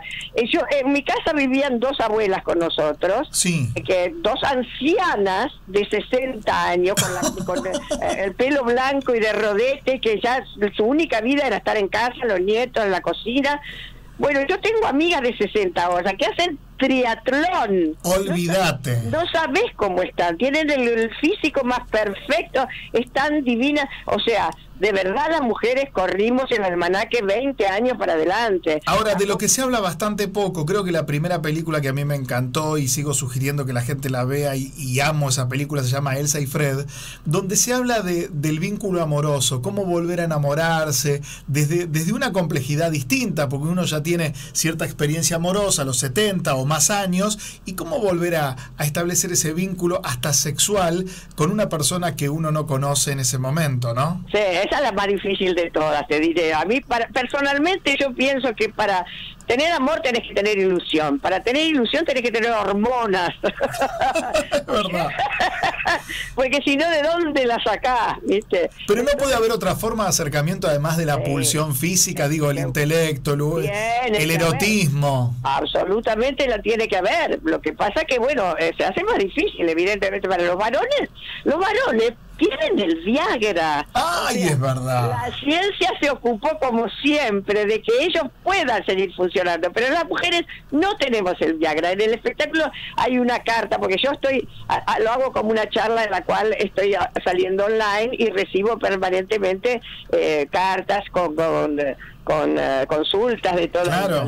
Hay una que se llama Madurita Interesante. Sí. Dice, eh, tengo 68 años, soy todavía una mujer muy atractiva eh, y sigo está interesada en los hombres, pero no quiero tener sexo. Por eso entré en una... eh, eh, en un lugar de internet que se llama megustanblandas.com. ¿Y por qué no? Claro. Y entonces estaba buscando novio ahí. Bueno, ya no te voy a contar la carta entera, pero está buenísima. La escribieron 5.000, por supuesto. Vos sabés que hace muchos años, pero poquitos, viste que el tiempo es simplemente un- una, una ridiculez inventada por el hombre, pero hace como 20 años me crucé con una feminista, pero maravillosamente loca, que me dijo, yo le pregunté una estupidez, viste que cuando uno es más joven pregunta estupideces, y le dije, ¿cómo haces? Como para que tu buen humor y tu inteligencia y tu mirada de género no te impidan acercarte a nuevas relaciones, a nuevas parejas. Y me dijo muy sencillo, antes descubrir un tarado me llevaba 10 años de matrimonio, ahora 5 minutos de un café. Esa mujer se llamaba y se llama Gabriela Acher. No me acordaba de haberte dicho eso, pero es cierto, totalmente cierto. Me dijiste. Ahora, claro, eh, lo que pasa es que de verdad te voy a decir, eh, Luisito, cuando se caen las hormonas, se te cae un velo rosado de los ojos, y entonces ya no dejas de pintar de azul a cualquier hijo de vecino que se te acerca, ya no ves príncipes azules en los sapos. Claro. Entonces, eh, Basta de besar sapos. Bienveni- bienvenida a la segunda, la tercera y la cuarta edad. Olvidate. Exacto. Entonces, de verdad, para que un hombre te interese, tiene que ser verdaderamente interesante, que los hay. Que los hay. Lo que pasa que en las edades grandes es muy difícil encontrar alguno suelto, pero bueno. Me voy a meter con algo muy delicado, podés cortar el teléfono y ofenderte. Eh, yo sé que te vi viajar por el exterior visitando a tu hijo, por unos lugares que la próxima vez me tenés que invitar, en Israel, en el Mar Muerto, que morí de amor por eso. Digo, ¿hay una relación muy edípica con tu hijo o hay espacio como para conocer eh, a un hombre, una pareja en este momento de tu vida? Mira, no, no, no, no hay una relación a- al nivel tan tan edípica de que no pueda conocer a un hombre. Lo que pasa es que eh, eso vos, vos cuando me presentaste dijiste la verdad. Yo hace 26 años Sí. hice feminismo en televisión al punto tal que yo decía que eh, lo mío no era una ideología, era un prontuario. Claro. A partir de ese momento de mi feminismo, se, se me resultó muy difícil que los hombres se me acercaran. Porque porque yo hice un personaje como la doctora Diu que puso muy nerviosos a muchos varones. Ojo, no, eh, estoy hablando de que nunca más los hombres gustaran de mí porque me siguen comprando los libros, me siguen contratando para las fiestas de sus mujeres, siguen viniendo al teatro, les encanta mi humor, pero les resultó un poco más difícil relacionarse conmigo porque les, les dio miedo la doctora Diu. Hoy que las feministas están en este estado tan eh, Efervescente, tan, tan en, en buena boga, en buen, en buen momento. Eh, Bueno, pero les va a pasar lo mismo. Te quiero decir, los varones están otra vez más asustados que antes. Ahora tienen miedo de que les hagan juicio. Al punto tal que yo en el en el monólogo este, la, la doctora Diu sale a defenderlos. No, ¿qué pasó? No, la doctora Diu sale a decirle a las mujeres que ya no se puede tirar a ninguno. ¿Te acordás que ella tenía un concurso que se llamaba Cambia a su marido usado de más de 40 que ya no que ya no funcionaba por dos de 20 cero kilómetros? Bueno, olvídense, dice, porque eso pertenecía a otra era de la humanidad cuando había mucha testosterona en oferta y a buen precio. Claro, ahora ya no. Ahora no, ahora hay que reciclarlos. Entonces la doctora Diu inventó una máquina recicladora. Vos sabés que en relación a estos cambios de, de- de- de momento histórico, de mirada social, que vos te adelantaste y por eso te presenté así, eh, los otros días una amiga me dice que un, un conocido del trabajo le dice, ¿sabés que estaba por subir al ascensor y había una chica sola y me dio miedo de subir? No vaya a ser cosa que denuncie o que me denuncie por algo. Y mi amiga, muy, muy lúcida y muy rápida, le dijo, ese miedo es el mismo miedo que sentimos todas las mujeres cuando estamos en un ascensor y sube un hombre y estamos solas. Es la verdad, no solamente en los ascensores, sino que las mujeres hemos vivido con miedo durante tantos siglos, tantos siglos y tan expuestas. Y además hoy en día, gracias también al feminismo, cosa que no solo pasa en este país, sino que ha pasado en otros lados, yo ya lo mencioné en, mi- en alguno de mis libros, hay una escritora que escribió un libro que se llama Reacción, que ganó el premio Pulitzer, una periodista americana, ahora no me va a salir el nombre, que dice que cada vez que el feminismo hace algún avance, la sociedad entera tira todo para atrás y retrocede y bueno, no, no te extrañe que ahora hay más. eh, Hay, hay una, hay una tensión, viste que es una pulseada de avance y también de un contexto político que por momentos tiene, según mi hum- humilde y modesto entender, una mirada un poco más conservadora que progresista en lo social, viste. Entonces es toda una pulseada, creo, de idas y de vueltas. Yo creo que ahora lo que está pasando es que muchos varones tienen miedo de la mujer porque ahora eh, existen los juicios. Entonces estamos todos con miedo. Las mujeres con el mismo miedo de siempre, solo que ahora hay más femicidios que nunca porque hay como una reacción brutal a este, a este hecho de que las mujeres avancen y los varones con miedo a que les hagan juicio, a- cosa que también puede suceder. Que alguna, alguna perra no tenga nada mejor que hacer. Pero no describe la generalidad del caso donde generalmente las mujeres son absolutas víctimas de esta situación. Tengo una consulta que tiene que ver con esto, Gabriela. Hace poquitos días Antonio Gasalla salió a responderle, a, no a responderle, a atacar directamente a Verónica Ginás por su militancia y su compromiso con cuestiones de género, eh, que no tiene que ver con ningún signo político, sino con su mirada absolutamente eh, feminista en la vida, y dijo, sacate el pañuelito de la cara porque ya sabemos que sos mujer, y dijo, no sé por qué te, te embanderás tanto, porque vos tuviste un marido, nadie te agredió, nadie te maltrató, nadie te tocó. ¿Cómo sentís esta historia sabiendo que vos trabajaste con Antonio y un Antonio que en los 90 era un progresista desde lo social y hoy por hoy atacando a una compañera más allá de que anoche se reconciliaron? ¿Co- ¿Qué, qué te pasa con estos íconos culturales que hoy por hoy ofrecen una resistencia también? Mira, eh, no puedo opinar sobre el hecho porque me estoy enterando por vos en este momento. ok. La verdad que no tuve la, la menor noción de, de esta diatriba. Lo que sí te puedo decir es lo que yo le diría a los hombres hoy, a los hombres buenos, a los hombres que no son perversos, que no son pedófilos, que no son ah, machistas horribles, que hay muchísimos y que yo los conozco y que existen. Les diría, por favor, apoyen esta lucha de la mujer, sobre todo porque fundamentalmente en el futuro, si algún día alguna inmunda mujer les, quiere hacer un juicio falso, van a tener muchísimas mujeres que los van a defender que van a salir a poner la cara por ellos. Entonces, en este momento, a los hombres que son buena gente, que son la mayoría, y que tienen miedo, porque yo sé que tienen miedo, porque me lo han dicho, porque yo convivo con ellos, porque los conozco, porque son mis amigos, mi gente que me rodea, les digo, apoyen esta lucha de la mujer. Que el futuro va a ser mejor para todos y todas. Absolutamente, absolutamente. Gabriela, en el caso de lo laboral, ¿has tenido que pasar situaciones complicadas, incómodas o de abuso en algún caso? No, afortunadamente a mí no me tocó esto, por lo menos acá. Me tocó cuando quise ir a Hollywood. Pero esa es ¿En Hollywood te tocó? Eh, yo no llegué a ir a Hollywood. Yo viví en el año 68, yo viví un año en México. Ah. Trabajé muy bien en México, hice películas, hice publicidad, hice televisión, hice de todo, trabajé divinamente. Sí. Pero mi, mi ambición era ir a Hollywood, por supuesto. Yo era muy jovencita cuando estaba en México. Recién había terminado Telecataplum. Claro. ¿Y qué pasó allí? Conocí, conocí a muchos productores americanos que venían a filmar a México. Sí. Ah, eh, uno de ellos se llamaba Henry Ford, no me voy a olvidar nunca de ese nombre, Sí. y me acuerdo lo que fue la entrevista con él, te daban cinco minutos. Sí. En la entrevista que hablábamos, que ya no me acuerdo ahora los detalles, sí, pero en algún momento me planteó de que para, eh, para estar en Hollywood tenías que coger. Sí. Así como te lo digo con todas las letras. Y yo le dije, olvídelo. Y él me dijo, de 10 chicas tan lindas y talentosas como vos, nueve lo van a hacer. ¿Por qué crees que te elegiríamos a vos? Bueno, y ahí estás hablando, mirá, estás hablando de un sistema, porque... Descarnadura. Claro. ¿Sabes qué me pasó en un diálogo con un productor televisivo del mismo tenor, digo, de, de hablar de cómo son las condiciones de, de ciertos trabajos, vamos a decir, no de todos, y muchas veces la mirada va para agredir a las chicas que aceptan, ¿sí? Que aceptan la tranza sexual para poder laburar.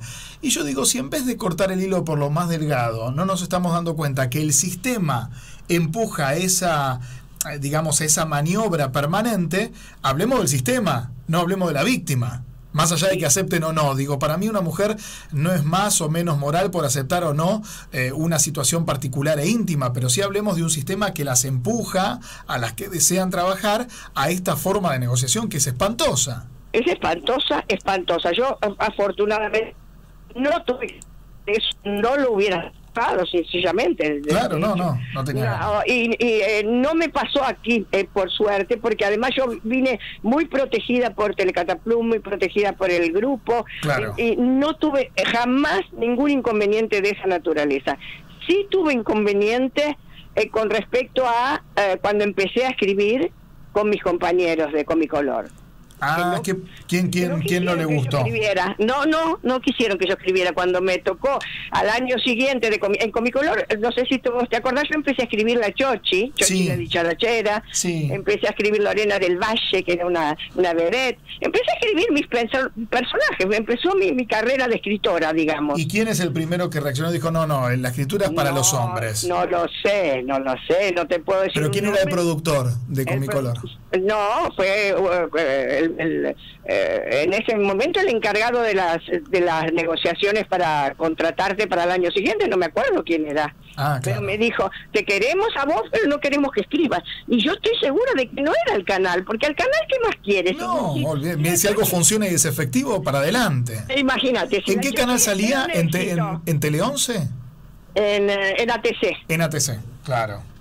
Pero no era el productor, eran mis compañeros los que pidieron eso, estoy segura. Es terrible eso. Bueno, pero hoy por hoy, por eso, en, aquel momento abriste un espacio que fue seguido por un montón de mujeres, también hay que decir, hablar de Juana Molina, hablar de Mariana Brisky y de tantas que hoy hacen humor, como Male Pichot, este, como Malena Ginsburg, como Dalia Goodman, cada una con su estilo, es maravilloso. A mí me parece que eh, es la gran renovación y vos sos una, una de las jóvenes próceres de, ese, de esa señal. Gracias, Gabriela. Gracias a vos, Luisito, un beso enorme, te Desde quiero mucho. 5 de mayo, Chacarerian Teatro, domingos 19.30 horas. Así es, allá los espero a todos. Un beso muy grande. Otro para vos. Chao, chao.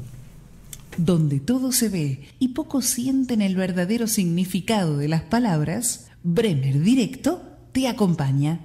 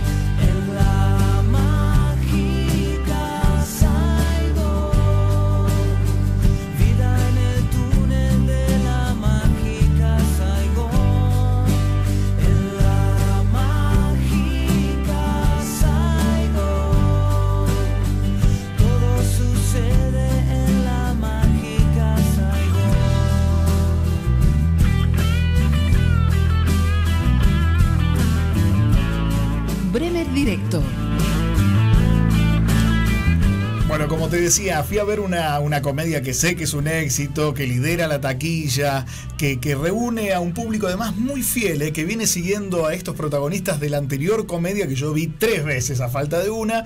Entonces ya sabía el espectáculo que iba a ver, pero me encuentro con eh, un trabajo interpretativo, una conexión entre los tres protagonistas, superador a la dramaturgia. ¿Qué quiero decir? La comedia es efectiva, obviamente, es fuertemente humorística, pero el trabajo actoral que lograron armar este, y la madurez de los intérpretes, de Nico Vázquez con Benja Rojas, y se sumó Flor Viña, que para mí es un hallazgo, de verdad, porque la pensé la chica del momento, la chica promocionada por los programas este, de- de- del 13 principalmente, del reality del bailando, de antes de combate, y me encuentro con una actriz creíble, verdadera. Y estoy en diálogo con uno de ellos. Benja Rojas, muy buenos días. Luis Bremer te saluda.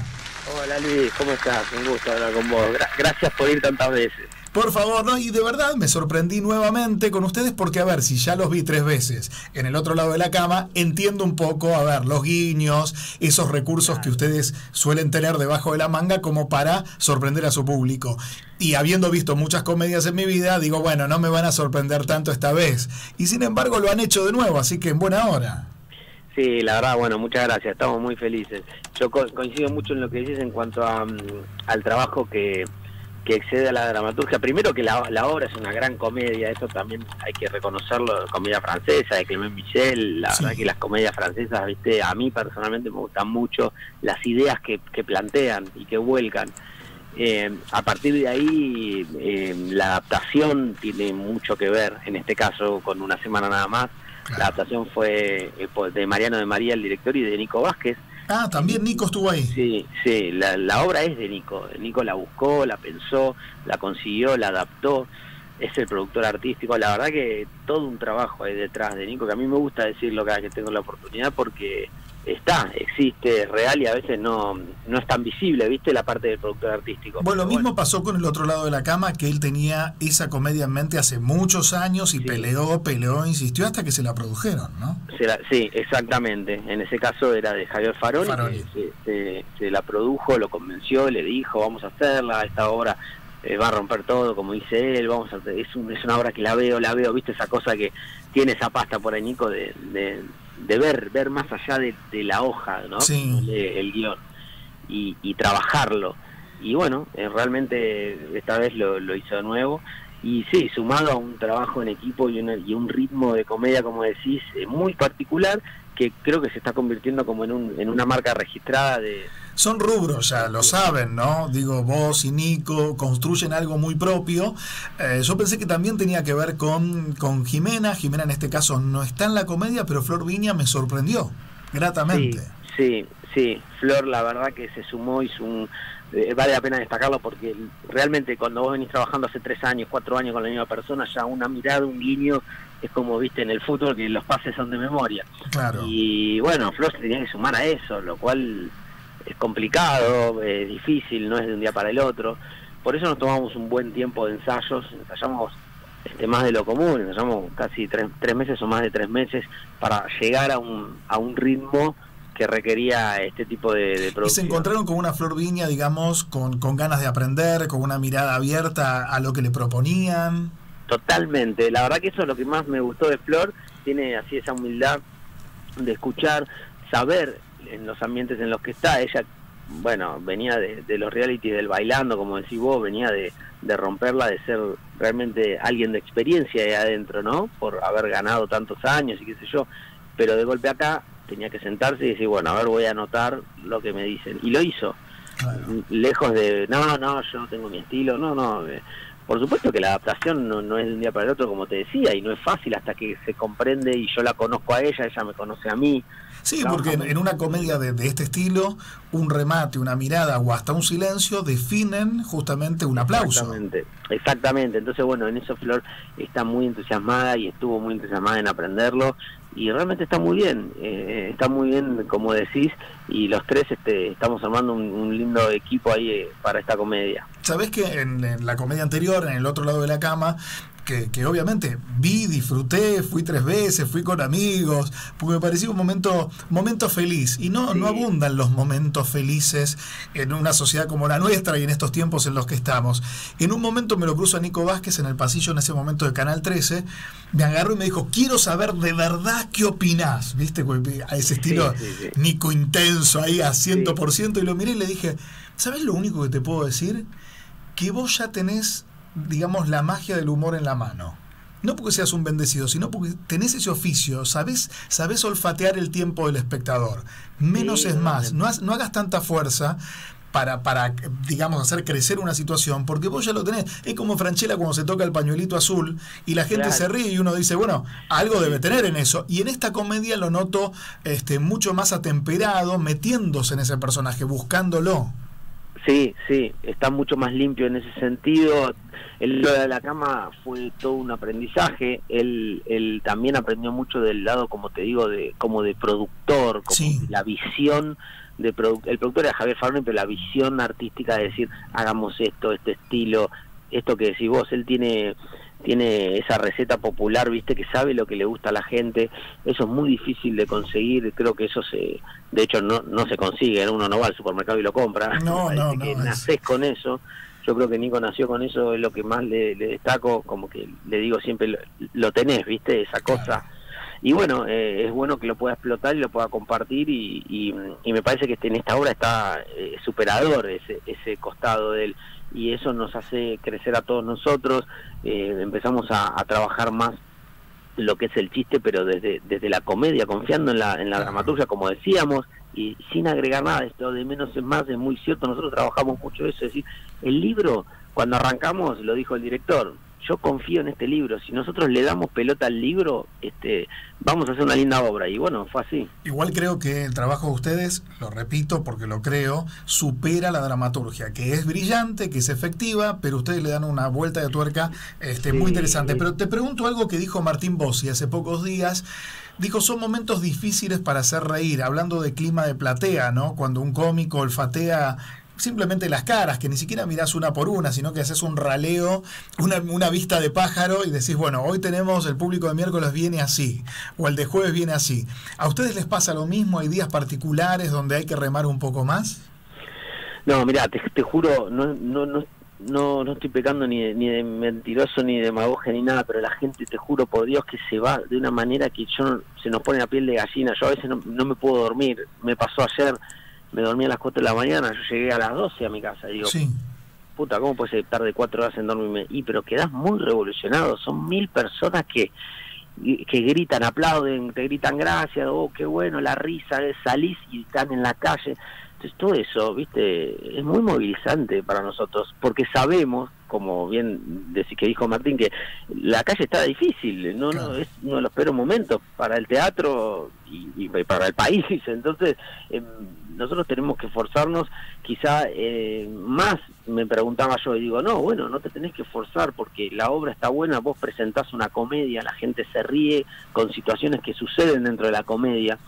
Y la gente busca eso, reírse, la gente busca olvidarse de- de- del, del quilombo que hay afuera un rato. Y yo creo que esta obra lo eso lo paga, ¿viste? Hablemos de un quilombo feliz, cortito, digo, pero cuando volvés a tu casa, sos eh, papá reciente, duerme toda la noche, tenés que poner ahí un poco el cuerpo, acompañar, ¿cómo viene ese, ese, ese otro Benja Rojas, que es el Benja casero? Y bueno, sí, trato de, de estar. Lo que pasa es que yo tengo un trabajo al revés de- del resto de la gente, ¿no? Porque la gente trabaja en la oficina en la mañana y a la noche está en su casa, yo al revés. Pero bueno, tengo lo- los, lo- las noches, trato de estar eh, atento a si necesita algo la mamá. La mamá, una fiera, ahora está durmiendo Rita por suerte, entonces solo toma eh, teta a la noche, no, no tengo que despertarme, pero este, la negociación es arranca a las 8 y te levantás. Claro, ah, entonces tenés que dormir y levantarte a las 8 de la mañana puntual. Sí, sí, a veces por ahí duermo pocas horas, pero no me lo quiero perder, Luis, porque la verdad que descubrí que a la mañana es, es una conexión que tengo ahí, padre-hija, que es maravillosa. ¿Qué aprendiste de vos en estos primeros meses? Digo, viéndola a las 8 de la mañana, redescubriéndote vos también como padre. ¿Qué, qué descubriste de Benja que de vos mismo que decís, mira, no conocía este aspecto de mí y salió? Mm, y, y me, me volví más sensibilón.